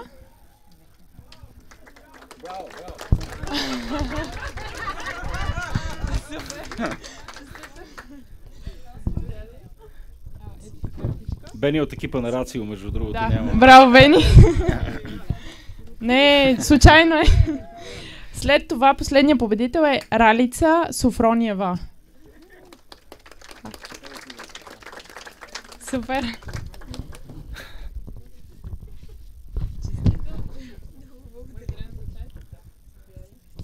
А, ще получите ваучерите след една секунда по имейла. Благодаря ви. Благодаря. Нека това да го оставим тук. Изобщо не съм изненадан за 10 от 10 въпроса. Винаги Много интересно в почивките наблюдаваше аудиторията на Рацио. Буквално видях две момчета долу, които седяха пред това голямото черно нещо, в което пускате монети за дарения. И двамата седяха и гледай, гледай, запазване на главия момент.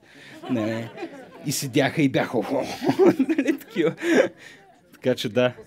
Учена, учена аудитория. Добре, а, имаме немалко въпроси, които искаме да адресираме с а, нашите гости. Нека да ги поканим с аплодисменти. Заповядайте, приятели. Всички. Хайде де! Заповядайте.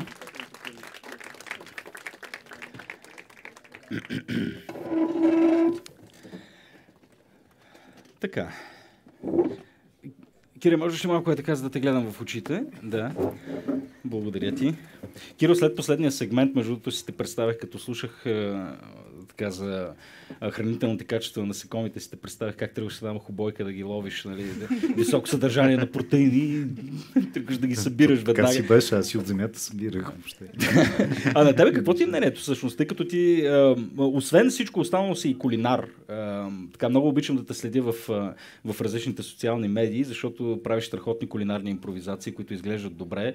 Не съм имал привилегията да ги пробвам все още. Ще имаш. А, добре, благодаря. А, ти би ли използвал някои от техните продукти, за да експериментираш по някакъв начин? Със сигурност бих да. Със сигурност. Да. Под, под каква форма би го направил? Ами, да, да си поръсиш пържолката. А, сега аз не мога да изложа, че не ме смущават насекомите. Мгм. Леко, като, особено в, така, в цялостния си вид. Така че по-скоро бих тръгнал от а, по-преработените варианти на насекоми. Мгм. Дали ще е брашно, дали ще е масло, дали ще е нещо друго. Нали, да ги инкорпорирам в някакви неща, които са ми по-скоро познати като чини. И оттам нататък се надявам да осъществя прехода плавно.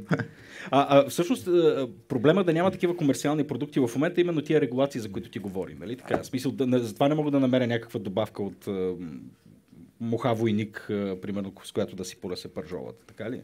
Това е основ, основната причина, но също така supply and demand. Ако хората, даже да има регулация, ако Мгм. хората не са достатъчно отворени да влязат в магазина и да си купят, няма смисъл, така или Да. иначе. А Така че- всъщност, а, а, а всъщност насекомите имат ли друга употреба, двойна, тройна употреба, освен а, за храни и фураж, а, козметика, примерно, и такъв, а, такъв тип неща? Опитвате ли се да пробиете и в тази посока? Да, това е, това е бъдещето перо всъщност. Мгм. Там е основ, основно залегнало маслото, защото маслото е антибактериално, хипоалергично, което и много-много приятно като профил аминокиселини. А, пробвали сме инхаус да си правим сапуни и това, е, това си абсолютно само за нас, естествено. А, има много-много добри отзиви. Ние сме много щастливи. Най-вероятно си мислите, че други няма да ви кажа, но, но не е точно така.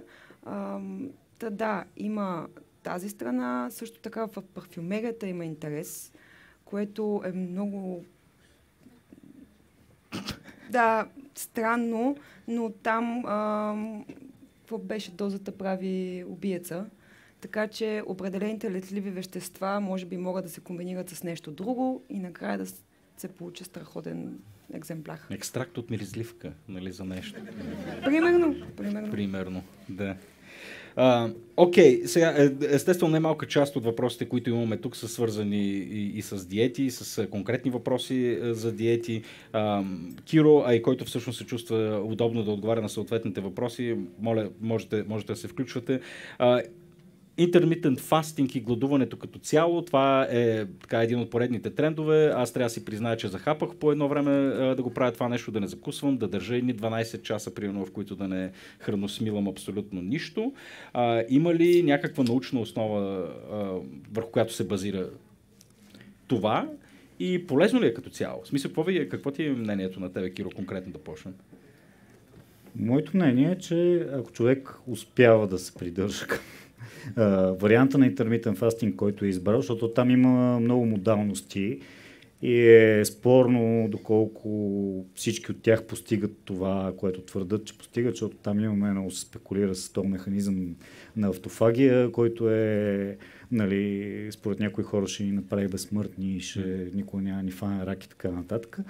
А, първо, това не е добре изучено като механизъм. После, а, факт е, че от а, intermittent fasting се отслабва. Мгм. Когато си го спазваш, и имаш един времеви прозорец, който обикновено е доста кратък, в който можеш да се храниш. Ти за по-кратко време не можеш да изядеш толкова храна, колкото можеш да изядеш за по-дълго време. Точно толкова елементарно. А, сега това може да бъде здравословно също така. Всеки човек, който има проблеми, особено с теглото и отслабне, той като цяло се радва на по-добро здраве. Съвсем наскоро, мисля, че в рамките на последните две седмици даже беше публикуван а, този трайл, а, който всъщност си направи труда да отговори на един въпрос, който беше доста така наболяло по отношение на intermittent fasting и това е всъщност дали intermittent fasting, който не води до отслабване, а, се асоциира с някакви здравни ползи. И то в случая не е дали се асоциира, ми дали води, защото тук mm-hmm. ставаше дума за рандомизирано, контролирано изпитване, което позволява нали, да се установи каузалност в науката. И това, което установиха е, че всъщност нали, имаше три групи. Едните бяха intermittent fasting без отслабване, едните бяха uh, intermittent fasting с отслабване и третата група беше uh, класическа нискокалорийна диета с отслабване. Това, което се видя, че всъщност между трите групи няма разлика по отношение на метаболитно здраве, а, независимо дали а, режимите водят до отслабване или не. Всъщност лъжа ви. Режимите, които водят до отслабване, независимо дали отслабването е постигнато с intermittent fasting или без, а, при тях се наблюдава най-същата промяна в а, показателите за метаболитно здраве. Тоест, в интермитент фастинга няма нищо магическо. Mm-hmm. Той е съпоставим с една обикновена нискокалорийна диета, нали, която е, може да се постигне с просто намаляване на калорийния прием. И другото, което се видя е, че интермитент фастинга всъщност а, води до по-голяма загуба на активно тегло. Не искам да казвам мускулна маса, защото активното тегло е много по-сложен компонент, но той състои както от мускули, така от мускулен гликоген, така и от някакво количество вода. Но тези хора със сигурност са изгубили по-голямо количество мускули, отколкото останалите а, групи в а, експеримента, отслабващите с помощта на интермитент фастинг. И това се дължи на факта, че имаш един много дълъг прозорец, в който ти не приемаш никаква храна и съответно нямаш анаболен стимул, особено когато не тренираш а в случая в този експеримент поне не беше включен компонента на движение. Може би този ефект би могъл да бъде митигиран с помощта на някакви силови тренировки или друга форма на физическа активност, но това до момента не е добре изучено. И другото, което се наблюдава е, че интермитент фастинга води до а, спонтанно понижаване на физическата активност на участниците, които го спа, спазват. Тоест, по-малко енергия. По-малко енергия, т.е. те стават много по- а, спонтанно лениви. Uh-huh. Нали, защото всеки от нас а, волно или неволно прави някакви движения в а, а, ежедневието си, става върши някаква работа. Хората, които са на интермитент фастинг, всъщност стават доста по-несклонни да се, да се движат. Тоест, хората, които спазват интермитент фастинга, трябва да имат предвид този а, ефект и по-скоро да се стремат допълнително да увеличават енергоразхода си чисто волево. И отново само да, да припомним, интермитент фастинга е всъщност методология, при която се храниш в определен прозорец от време и през останалото време не ядеш. Определяш 6 така, часа да, или 8 часа. Има различни варианти да. на интермитент фастинг. В повечето случаи нали, може да има альтернет дей, фастинг, един ден ядеш, един ден ядеш, имаш mm-hmm. 16-18, 16 часа не ядеш, 8 часа не ядеш, но да. просто вече е въпрос на... Да, и сега, не знам както по думите на Добджански, който беше казал, че нищо няма смисъл, освен нали, в когато се разглежда през призмата на еволюцията. Като говорим за интермитент фастинг, всъщност теорията е, тезата е, че това е далеч по-естествения начин, по който хората са се хранили. Нали? Имаш е, храна за определен период от време и след това гладуваш дълго време. След това пак и след това пак. Да. А, и в днешно време всъщност нямаме нали, боравиме точно по обратния начин. Mm-hmm. Всъщност и това води и до, и до, такива, до такива проблеми. Сега не знам това доколко е, доколко е вярно, но предполагам, че има, има логика. Въпросът е доколко начинът по който са хранили предците ни е до оптимално здраве. Нали? Mm-hmm. Защото това нещо това се приема е за даденост, но то не е задължително така. Напротив, нали? ние сме се а, справили така, както сме можели, с зависимост от а, достъпа до храна. Да. А, но това не е нещо, което задължително ни е помагало да оцеляваме по-добре. Да, да, да. То, то, това е проблема с идеализацията на миналото по принцип. Именно, нали, да. Че, да там, там палеодиетата, също... както всичко останало, нали, което е Точно така, Винаги да. в миналото всичко било супер. А, Злати, един въпрос към теб. Консумацията на риба е, както и Киро каза, трябва да ядеме много повече риба. Тя е част от много диети. Има хора, които ядат само сардини, защото мега кето warriors, както казахме. Но а, това пък води до някакви други ефекти, при които а, се наблюдава някакво натрупване на различни вещества, живак, микропластмаси и така нататък. Доколко трябва да се притесняваме всъщност за това и увеличаването на консумацията на храна не води ли до такъв риск? А, човешката дейност, за съжаление, оказва влияние в всички аспекти на нашето съществуване. От замърсяването на въздуха през замърсяването на водите и световния океан. И наистина се забелязва, че се увеличава количеството на, на разни метали и тежки метали, като например живак. А, давам един много лесен пример а, на изчисление, на което бях попаднала преди, преди няколко седмици. А, можем съвсем спокойно да се натровим с живак, ако я изяждаме по 3 консерви рибатон на ден. Не заради консервата, а заради съдържанието на живак в рибата. И всъщност това, което лесно можем да направим, за да минимизираме риска върху себе си е да наистина трябва да консумираме много риба, много повече отколкото средният човек консумира, но трябва да редуваме различни видове риба, които идват от различни места. За да, за да не, нали, като ще си вкарваме микропластмаса и, и метали, поне да, са, поне да имаме разнообразие, да не натрупваме от едно и също. Киро нещо?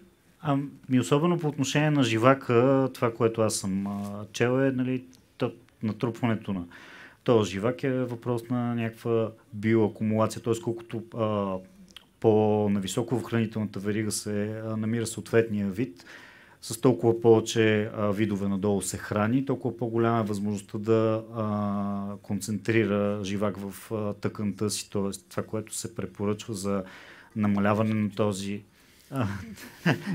тук говорим по-скоро за морски обитатели. А, да, в никакъв случай не е ящо човешко, доколкото ви е възможно. Постарайте се. Но Има другото, което е нали, да, се, да се залага на, на по-скоро на дребни видове риба. Сардините, както каза Петко, са чудесен източник на омега-3 и при тях концентрацията на живак е сравнително по-малка. И другото е, а, има такива карти, които са, нали, защото количеството на живак в океана, то не е равномерно разпределено. Има региони с по-малки концентрации на живак и може да се поинтересувате къде има по-малко живак. На всяка консерва, която си купувате, нали, сега аз говорях за консервите като за нещо, което е единствения начин по който ядем риба, но интересувайки се откъде е ловена рибата, може да добиете горе-долу представа нали, относително дали има повече или по-малко живак. И че то остана ли чисто място? То е... Има ли Не. значение в крайна сметка? Не, не, не, има, има, Има, по, се, по-малко мръсни и съответно по-замърсени. Да, по-добре от Волга да не, да не, да не ловиме риба. Добре, а, а, а този проблем всъщност съществува ли при насекомите? Тъй като ти спомена, когато говорихме за този кръговия процес, при който те обработват а, нашите отпадъци mm-hmm. реално и в последствие ние ги консумираме, ти спомена, че те имат много, сега не си спомням точно как се изрази, но висока степен на прочистване. И При тях а, има ли натрупване на подобни вещества при насекомите? Ако трябва да сме напълно, чест, напълно честни, а, все още сведения няма, точно поради тази причина, че не са толкова широко разпространени.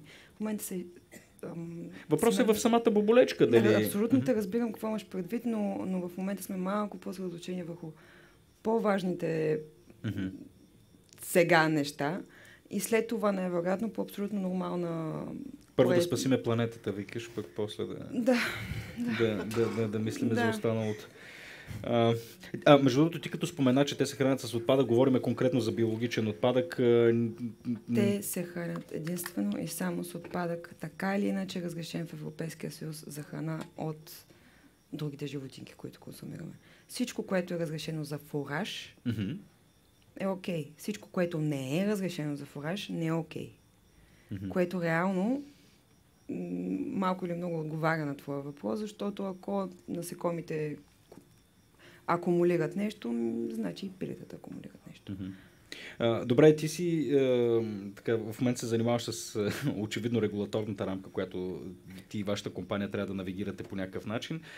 Един от интересните проблеми, които се повдига в момента с оглед справяне на този обществен здравен проблем, който имаме с затластяването, е регулация на захарта. Например, количество захар или изобщо регулацията на такъв вид субстанции, които иначе са естествени, иначе в малки количества не са, не са вредни. Да започнем първо с твоето мнение, какво е по тая, по тая тема. Чисто човешки, знам, че а, не се занимаваш конкретно с това, но... Чисто човешки, не мисля, че има човек, който да няма мнение по тази, mm. тази тема. А, аз не мисля, че е нормално всяка глътка от всяка течност, която приемаме да е с 15 грама захар. Mm. А, не мисля, че е нормално течностите, които поемаме на 100 да имат 60 грама, доколкото общо взето такива са стойностите. А, и не мисля, че е нормално човешки организъм да го изисква това нещо. И смятам, че регулация или не, ние трябва да слушаме себе си. А, няма как организмът ти да се чувства добре на такава концентрация на захар. Mm-hmm. Мисля, да, окей, а, захарта, глюкозата е най-простия източник на енергия, единственото нещо, което мозъкът ти може да яде. И все пак. И все пак не мога да приема, че човешки организъм може да се чувства по този начин добре. И моето лично мнение е да се слушаме и регулациите си регулации, обаче в крайна сметка те не ни влизат в къщата и не ни лекуват после проблемите, здравословните. Вие какво мислите по темата? Един данък допълнителен и строги регулации на захарта и солта няма да се отразят зле на човечеството. нали, това, това защо, защо казвам?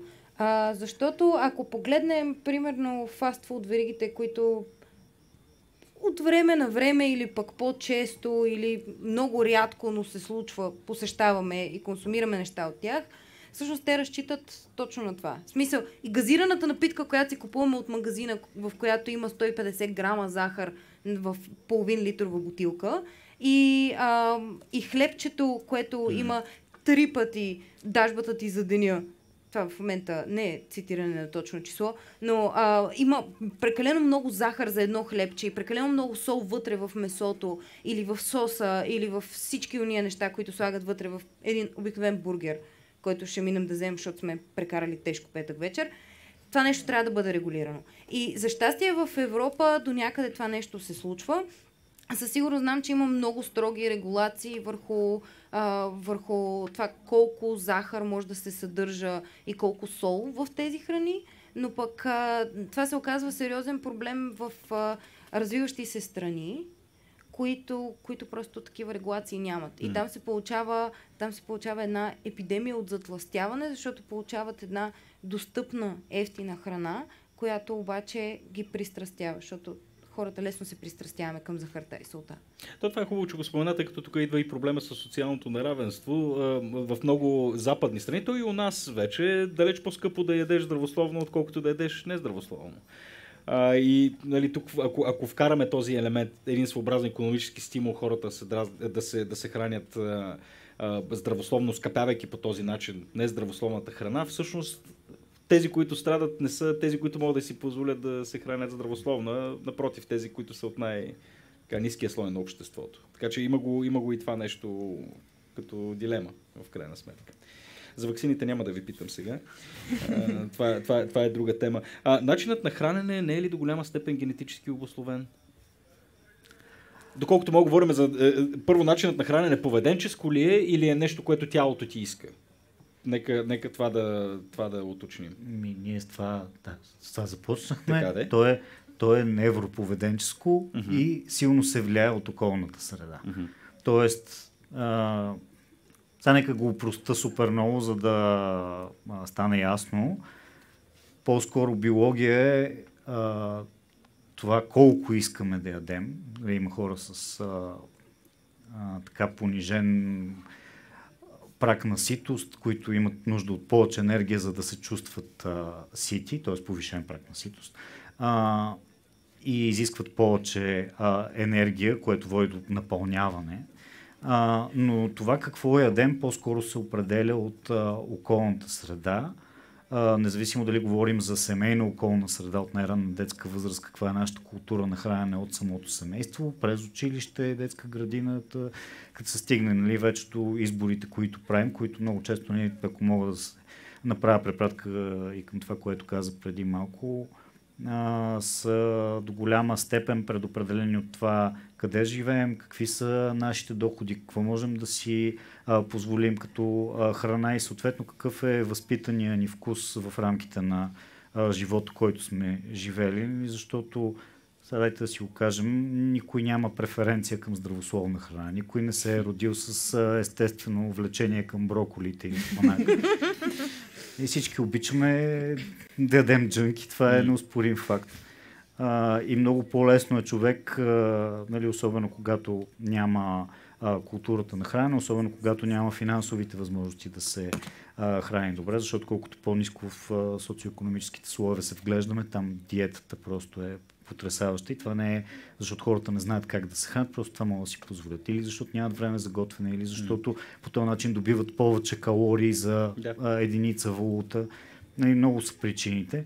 Така че а, от много неща зависи а, това как ще избираме да се храним в а, различни етапи от живота си. Пак е някакъв микс от, а, от биология и, и култура. Сега има сведения, че а, хората, които са по-податливи за- на затластяване, имат по-силен афинитет към а, хиперпалатабилни храни, т.е. такива храни, които са миксове от а, сол, захар, мъзнини, нали, така наречения Мгм. джънк. А, така че от, от, от всичко, от почти всичко зависи това нещо.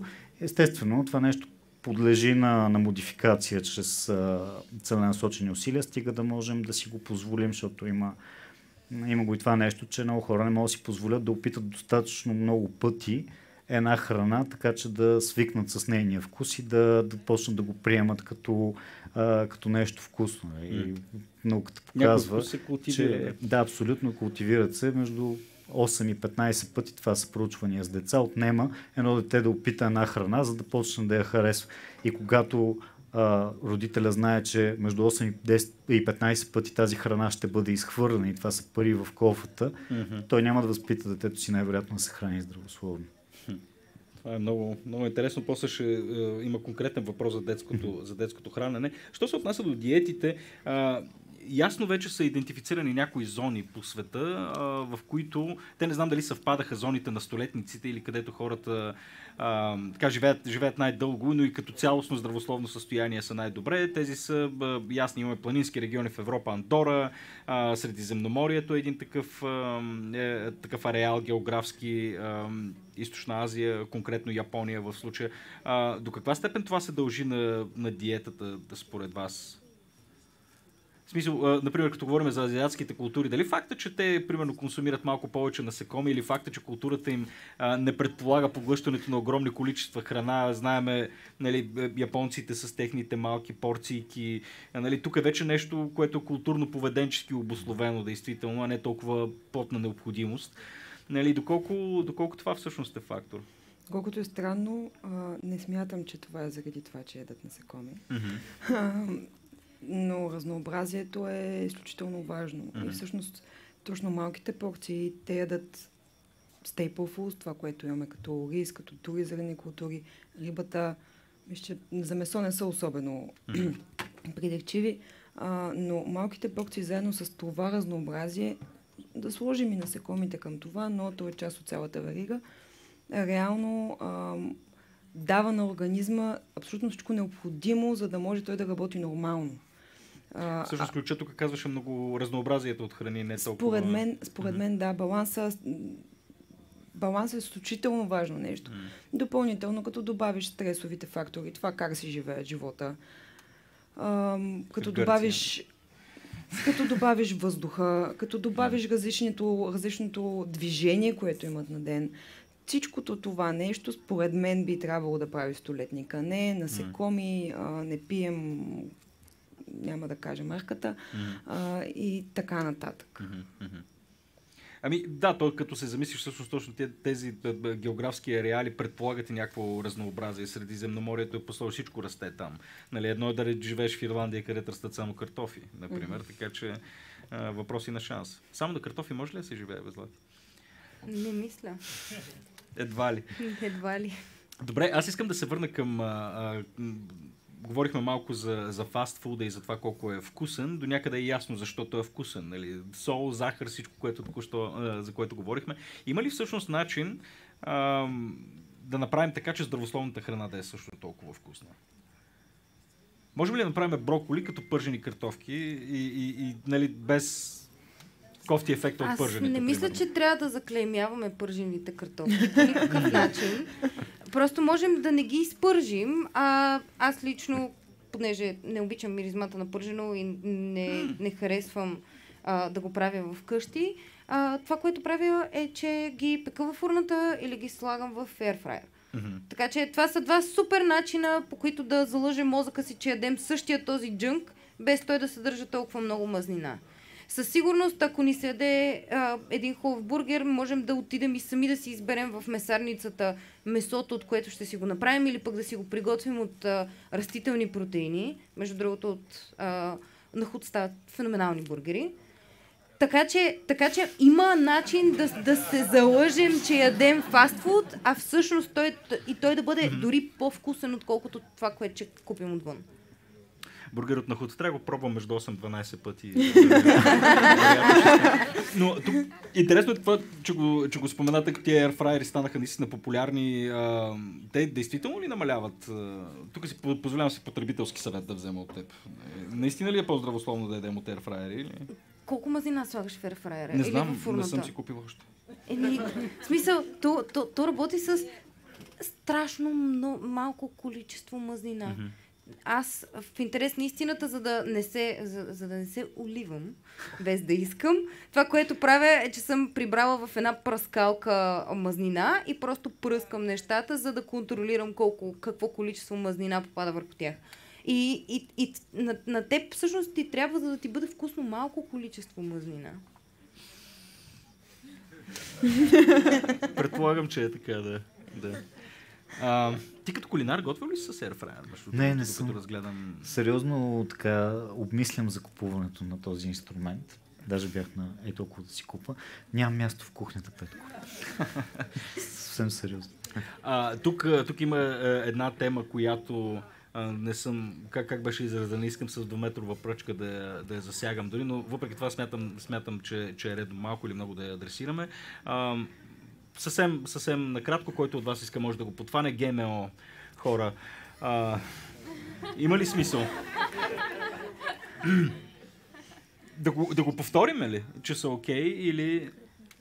Има ли, добре, нека, нека да го обърнем въпроса по другия начин. Има ли все пак някакви рискове, за които трябва да знаем?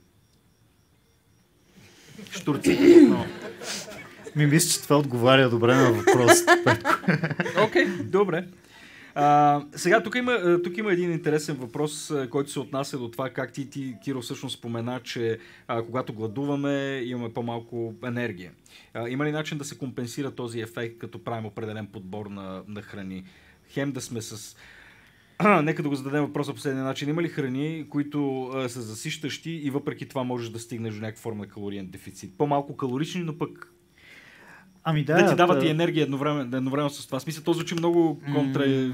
Сега, тук, да, стигаме до, до темата за тази прословута енергийна плътност, неща, които са богати на, на фибри, богати на а, вода, те а, запълват доста сериозно място в стомаха ни и ни засищат с по-малко калории. Сега от тук нататък колко енергизиран ще се чувства човека, това са нали, неща, които нали, сигурно ще има поне 40 човека тук, които да ме оборят, че те с боб по никакъв начин не се засищат и ако ни зададат една такава пържола, просто няма начин.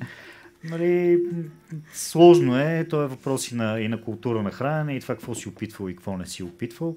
А, засищането и ситостта са а, сложни а, сигнали, които се влияят от различни неща, но, но наличието на, на обем храна, фибрите имат много висока засищаща стойност, протеинът също има висока засищаща стойност и по принцип повечето а, устойчиви хранителни режими, които а, карат, т.е. не карат хората да се чувстват, че умират от глад, обикновено са базирани на а, висок прием на фибри, а, висок прием на протеин, независимо дали говорим за растителен или животински такъв. При а, растителния протеин предимството е, че на едно място имаш протеини и фибри, докато а, при животинския трябва отделно да си ги набавяш и двете неща.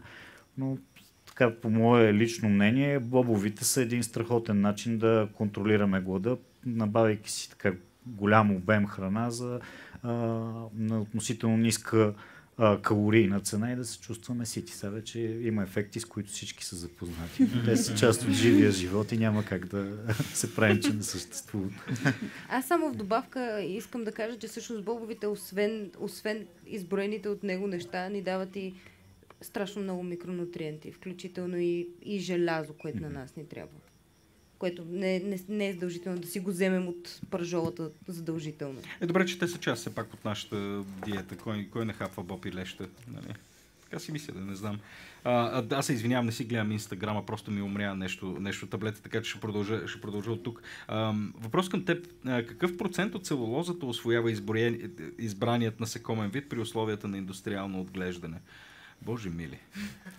Бойко. Много специфично. Да. Много специфичен, много зависи от насекомото, много зависи от целулозата всъщност. Ам, реално това, което едно от предизвикателствата на, на индустриалното отглеждане на насекомите ползвайки отпадъка, който ние събираме, да извлечем реално обработваема суровина за насекомото. Мгм. Целулозата не е толкова обработваема суровина, а, което прави процента доста нисък, Мгм. реално. Но не е, не е невъзможно. Просто въпросът е, че най-вероятно насекомите няма да растат изключително оптимално. Така че зависи какви са целите. Ако, това, ако по този начин искаш да насочиш производството си и така, такъв е потока, по който, по, кой, по който ти искаш да тръгнеш, а, да, най-вероятно ще имаш успех, но няма да произвеждаш страхотни количества ларви на ден. Какво искаш да произвеждаш, бе, Войко, че питаш? Да освоявам целулоза. Що ли те питам? А, добре, няколко, няколко въпроса конкретно. Ще има ли още бананов кейк? Това току-що, току-що излезе. Добре, а, яйцата трябва ли да се държат в хладилник? Аз казвам да, но не знам защо. Трябва ли? Зависи в коя част на света сме. По повод за яйцата. Имам едно важно съобщение. Преди точно 60 минути вие бяхте свидетели на момента с шок бомба учените ви лъжат. Що? Защото аз сега, сега е момента, в който се самообичувам публично, съм ви казала без да искам, че 80% от пилетата имат салмонела. Да. Да, за което се извинявам и е, и е лапсус и не е вярно. 95. Всъщност процентите са много по-малко, но, но, но това става с- около 20 пъти по-малко, но това става с мозъка на човек, който цял ден е гледал как се екстерминират различни бактерии, които водят до диария. За което се извинявам, трябваше да хвърлите домати, яйца, кенчета от бира по Ние сме мен. толерантни. С, с, с такива неща не трябва да сме толерантни. Четири. 4%. Четири. Така че с 4 сме доста по-окей. Да. Иначе за, за яйцата зависи в коя част на света се намираме. А, в а, Штатите, например, в, а, в Штатите, например, яйцата се... А, я, яйцата, доколкото знам, сега не направим някой друг лапсус. Добре, имаме страни, които мият яйцата, имаме страни, които не мият яйцата. Яйцата имат а, върху себе си един слой, който, който предпазва, а, прави бариера между черупката и външната среда и жълтъка и белтъка, които се намират вътре. Яйцата, които ги измиваме с препарати, за да ги почистим и да се предпазим от салмонела, всъщност те загубват бариерата си и черупката им не е, не е чак толкова плътна, тя е пориозна, различни микроорганизми и кислород могат да влязат вътре и да, да, се, да се стигне до процеси, които да развалят яйцето преди ние да сме го изконсумирали. В, когато разполагаме с мити яйца, те трябва да се държат в хладилника. Доколкото знам, нашите яйца в България, въпреки че ги държим в хладилника, мисля, че не са особено мити, поне от това, което забелязвам по черупките.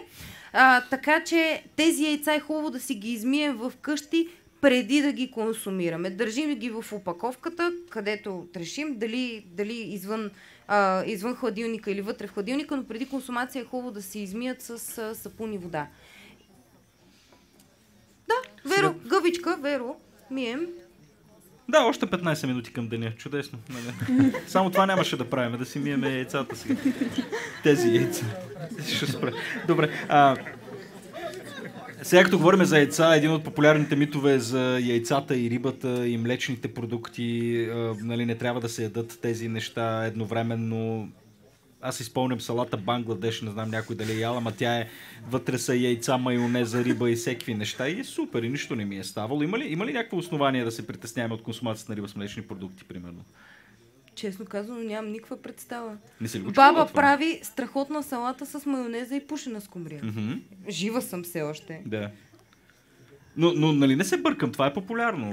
Да, като- популярно Това е. е популярно, аз съм го чувал от супер много хора и мен много ме смущава и аз съм търсил отговор на този въпрос целенасочено. Не е ли конкретен, конкретен случай, при който при част от консервираните риби, но при конкретна консервирана риба, тя най-добре да се яде действително с мляко, защото резултира в кофти комар. Това е определен вид риба. Определен вид консервирана риба. Това, Ясно. което аз, да, всъщност отговора, до който стигнах по пътя на логиката, че яйцата, рибата и млечните продукти всъщност са едни от храните, които са сред топ причините за а, взривове на хранителни отравяния. И всъщност всяка една от тях по-отделно е със сравнително висок риск, когато не се а, консумира оптимално приготвена или оптимално съхранявана, а когато а, комбинираме и трите или и двете от тях в едно ястие, съответно този риск се отвоява или се отроява. Така че за мен това е най-така близкото до, до разумно обяснение за това вярно. За този мит, Да. иначе. А, добре. Съдовете, в които готвим. Има едни прекрасни а, съдове на кур... а, как, се, как се наричаха, а, бога ми, едни френски неща, които струват хиляди левове, които ги гледам. Ой, е. Не цептер, не, Да. не. Ле Крузе. Ле Крузе, точно така, да е. Кадилака на съдовете. Кадилака, примерно, да.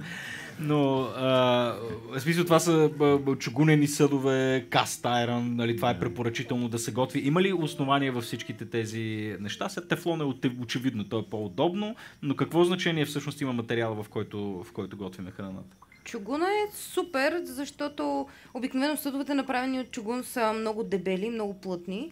А, освен, това, освен това, чугуна успява да разпредели равномерно по цялата повърхност а, топлината. Така че аз лично използвам чугунен тиган, за да знам, че всичко от всякъде е еднакво загрято. Иначе не виждам много голяма съществена разлика. В смисъл, освен, освен, че поддържането на един чугунен съд изисква 200 пъти повече усилия от тефлоновия тиган, защото трябва да го измиеш веднага след като а, си го използвал, да е горещ, след това да го избършеш, за да не ръждяса, после да го печеш намазнен във фурна, отгоре, отдолу, да мирише цялата къща на отврат. Да. Да, да. И в този смисъл на лекрозет съдовете, те са повечето са от емайлиран чугун, което до някаква степен ти спестява всичките тия разправи, защото нали, пак имаш свойствата на чугуна, обаче той е защитен от а, слоя емайл, така че нали, имаш задържането и разпределението. Но, но, но тогава трябва да ходиш да блъскаш в залата, за да можеш да извадиш та, Да, да, тавата от фурната и да я качиш е силово. Да, там няма, не е за слаботелесния проблем.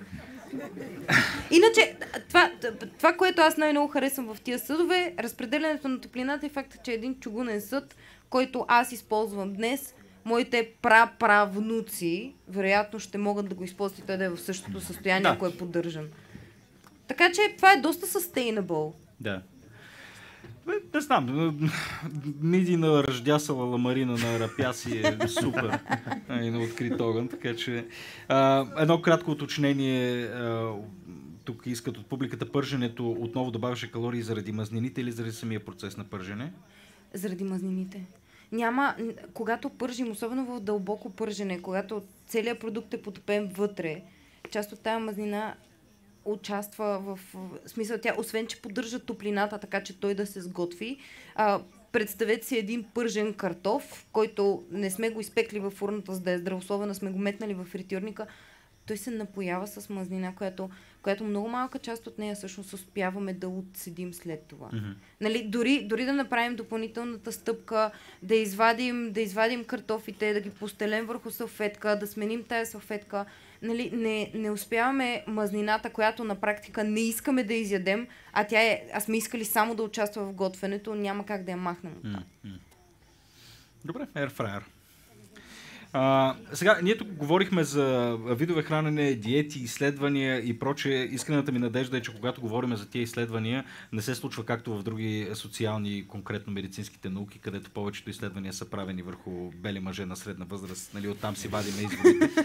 Но а, тук, тук и въпросът е свързан, що се отнася до диети и начини, начини на хранене. Всъщност има ли така, очевидно, вероятно трябва да има разлики в това как, е, как работи мъжкия и женския организъм. И конкретно въпросът е насочен към фастинга и гладуването. Дали то по някакъв начин, по различен начин се отразява върху жени, върху жената. Честно казано, това е една тема, която не съм а, изследвал в дълбочина. По принцип съм чувал, ама това е такова баткенската митология, ако сте чували. Ли? Там всичко е полунаука. Да.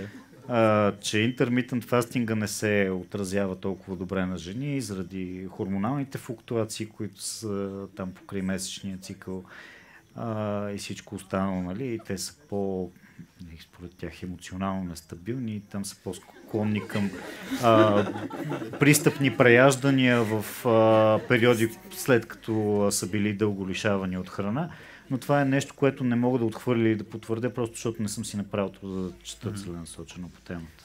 Аз само мога да добавя, че това, което аз знам, ам, естествено тук говорим за изключително балансирано направено. Има данни, че евентуално при проблеми с половите органи, говорим за кистозни състояния и така нататък, при наистина много, много умерено направено, един ден в седмицата или нещо и такова, ам, би помогнало. Но накрая, накрая пак стигаме до леко изнервеност и а, партньора ни най-вероятно ще страда. Така че вие си решите кое ви е важно. А, дали да слабате или да се развеждате. Имате два избора. А, колко сол е много сол? Това го проверих специално в почивката. 5 грама. 5 грама е много сол. 5 грама е дневната препоръчена от Световната здравна организация, дневното пре- пре- препоръчено количество сол. Чайна лъжичка. А колко Вау. са? А колко са? Извинявам се. Така че Е, над 5 грама е много Аз само сол. в тератора съм с две. Нали, Ужас. Сега е момента да кажа, хора, има калиева сол.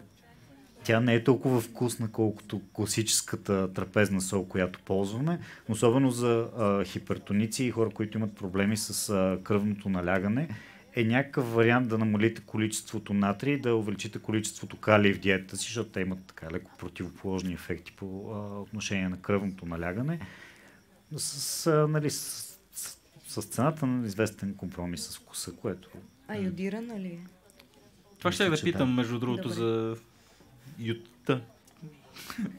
Как е множеството? Ю- Ю- ю- ю- Йода. Йода. да. Йода. Господин Рацио, да ви господа. Не това да кажа. Окей, а, сега говорихме мъже, жени, разлика, деца. Сега съм с, две деца, там е режим. Нали, но има ли някакви особености при децата, които естествено трябва да, трябва да съблюдаваме? аз ли да кажа? По-различни. Да, кажи. Ти си работила повече с деца. Не, честно казано, децата са много а, труден материал. А, аз самия нямам деца.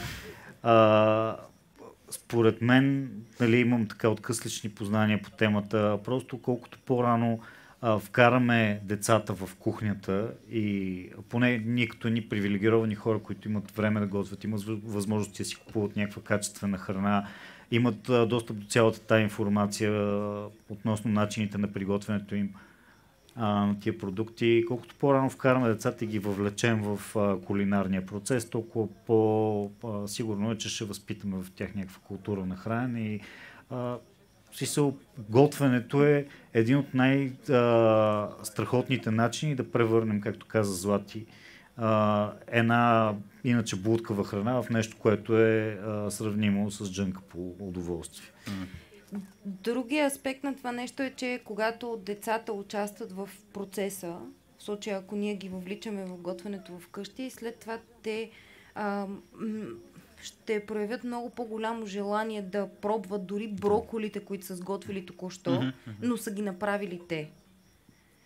Което, което аз лично го забелязвам, защото почти всеки ден се храня с 15 на деца, с които водим тази битка. Опитай го 17 пъти, поне, за да ти хареса. Защото не, не, предпочитам, когато аз съм с децата, храна да не се изхвърля. Mm. Нали, там правим едни а, опити с а, изяш една лъжица супа я пробвай, ако ти хареса, ще ти сложим още една и, и я пробвай и така до безкрай, докато докато накрая в крайна сметка не се окаже, че едно дете на 17-я път се прибира вкъщи и казва, мамо, сготви ми грах. Mm-hmm. Така че просто постоянство и въвличане в процеса, а и трябва да си даваме самите ние сметка в къщи дали се храним разнообразно и дали готвим разнообразни неща, за да излагаме детето от рано. Mm. А, защото ако ако въртим мусака е пълнени чушки и пилешка супа, нали, детето, за съжаление, разнообразие няма да има. Казвам го от личен опит. Мама това правеше, когато бях малка. Разбираме, честно казвам с двете не. А, но, не. Но не е ли вярно и от друга страна, че... Сега тук вероятно опираме до, до, до въпроса и доколко метаболизма и начина по който ни работи организма е генетично обословен, доколко това нещо може с някакви нали, фенотипи да се промени, дали, средата, доколко може да му въздейства. Но не е ли вярно, че освен, че информираме навици за здравословно хранене, научаваме и тялото им да работи по определен начин в най-ранна фаза? Или, или това няма, няма основание да се По-скоро това нещо не бих го твърдял аз. Mm-hmm. В смисъл, ако им даваме много захар в ранна, в ранна възраст, това няма да се... А, не, не, не. В смисъл, Примерно, тая гледна нали? точка, mm-hmm. а, нали, то, но това, това въжи по отношение на, на възрастните. Да. А, затова, както по отношение на децата, така и по отношение на възрастните, е умерено и разнообразно. Добре. А, е, Боже мили, има, има страшно много неща. Отново няма да, няма да имаме достатъчно време. А, как се проявява дългосрочния понижен прием на протеин? Как се проявява?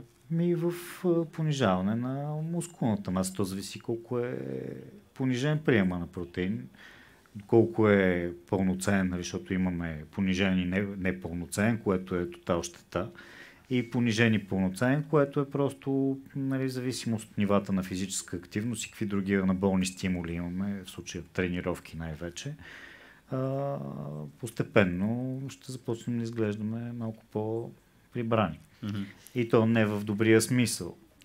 И колкото по-всъщност, може би е добър момент да направя тази вметка, по-възрастни ставаме, от толкова повече протеин се нуждае тялото ни, за да противодействаме на така наречената съркопения, падането на мускулната маса с напредването на възрастта и съответно да компенсираме за ефектите ни, защото по-възрастните хора, особено след 60 годишна възраст, ако не се а, лъжат, там а, чувствителността нали, на този анаболен стимул на, на протеина намалява, така че с повече внимание при възрастните хора трябва да се подхожда към този макронутриент. Добре, какво ще кажете за суджуците? Има ли токсични вещества, които се използват за консервация, всъщност по-интересната част на въпроса? Не. Токсични със сигурност няма. Европейския съюз е едно чудесно място, в което ние живеем и си произвеждаме и консумираме храната. И всъщност всичко е безкрайно регулирано, така че, така че да, да спазваме високите норми токсични неща няма. А, ако някой има проблем с суджуците, вероятно бих заложила, а, че има потенциална алергия към нитрати. Mm. Няма да ви казвам, що го казвам. Въпрос към теб. А, а, сега за разлика, това да го изям ли или, а, или ще не, го това ми излива. Нека да не бъде домашен любимец. за парфюмерийната индустрия. А, сега говорихме си за регулации, за какво ли не генното модифициране, тема, която ние в Рацио разглеждаме постоянно, говориме с хора, правиме събития, защото е много интересно, това е бъдещето на биотехнологиите. При насекомите, предполагам, нямате големи пречки да, да експериментирате с, с някаква форма на генна модификация. Въпросът конкретно е свързан с 145-дневен цикъл. Дали вие не може да намалите този цикъл чрез, чрез едно CRISPR, бързо, нали? Био, биотехнолога в мен ще каже да. Mm-hmm. Много работи можем да направим. Но това чудесно място, в което живеем Европейския съюз, края на 2018, ако не се лъжа, каза и определи CRISPR като технология, спадаща към ам, генно модифициращите технологии, реално, което ни връзва ръцете. И това, което се получи тогава точно, беше, че много бизнеси се изнесоха R&D-то в Штатите, примерно, или в Китай и така нататък. Само и само да могат да си развиват, да ползват новите биотехнологични технологии. Ам, Та не знам дали ти отговорих на въпроса, но да, има възможност. Биотехнологиите и ГМО-то като цяло, като технологии, няма абсолютно нищо нередно в тях. Това как ние ги ползваме вече е друг въпрос.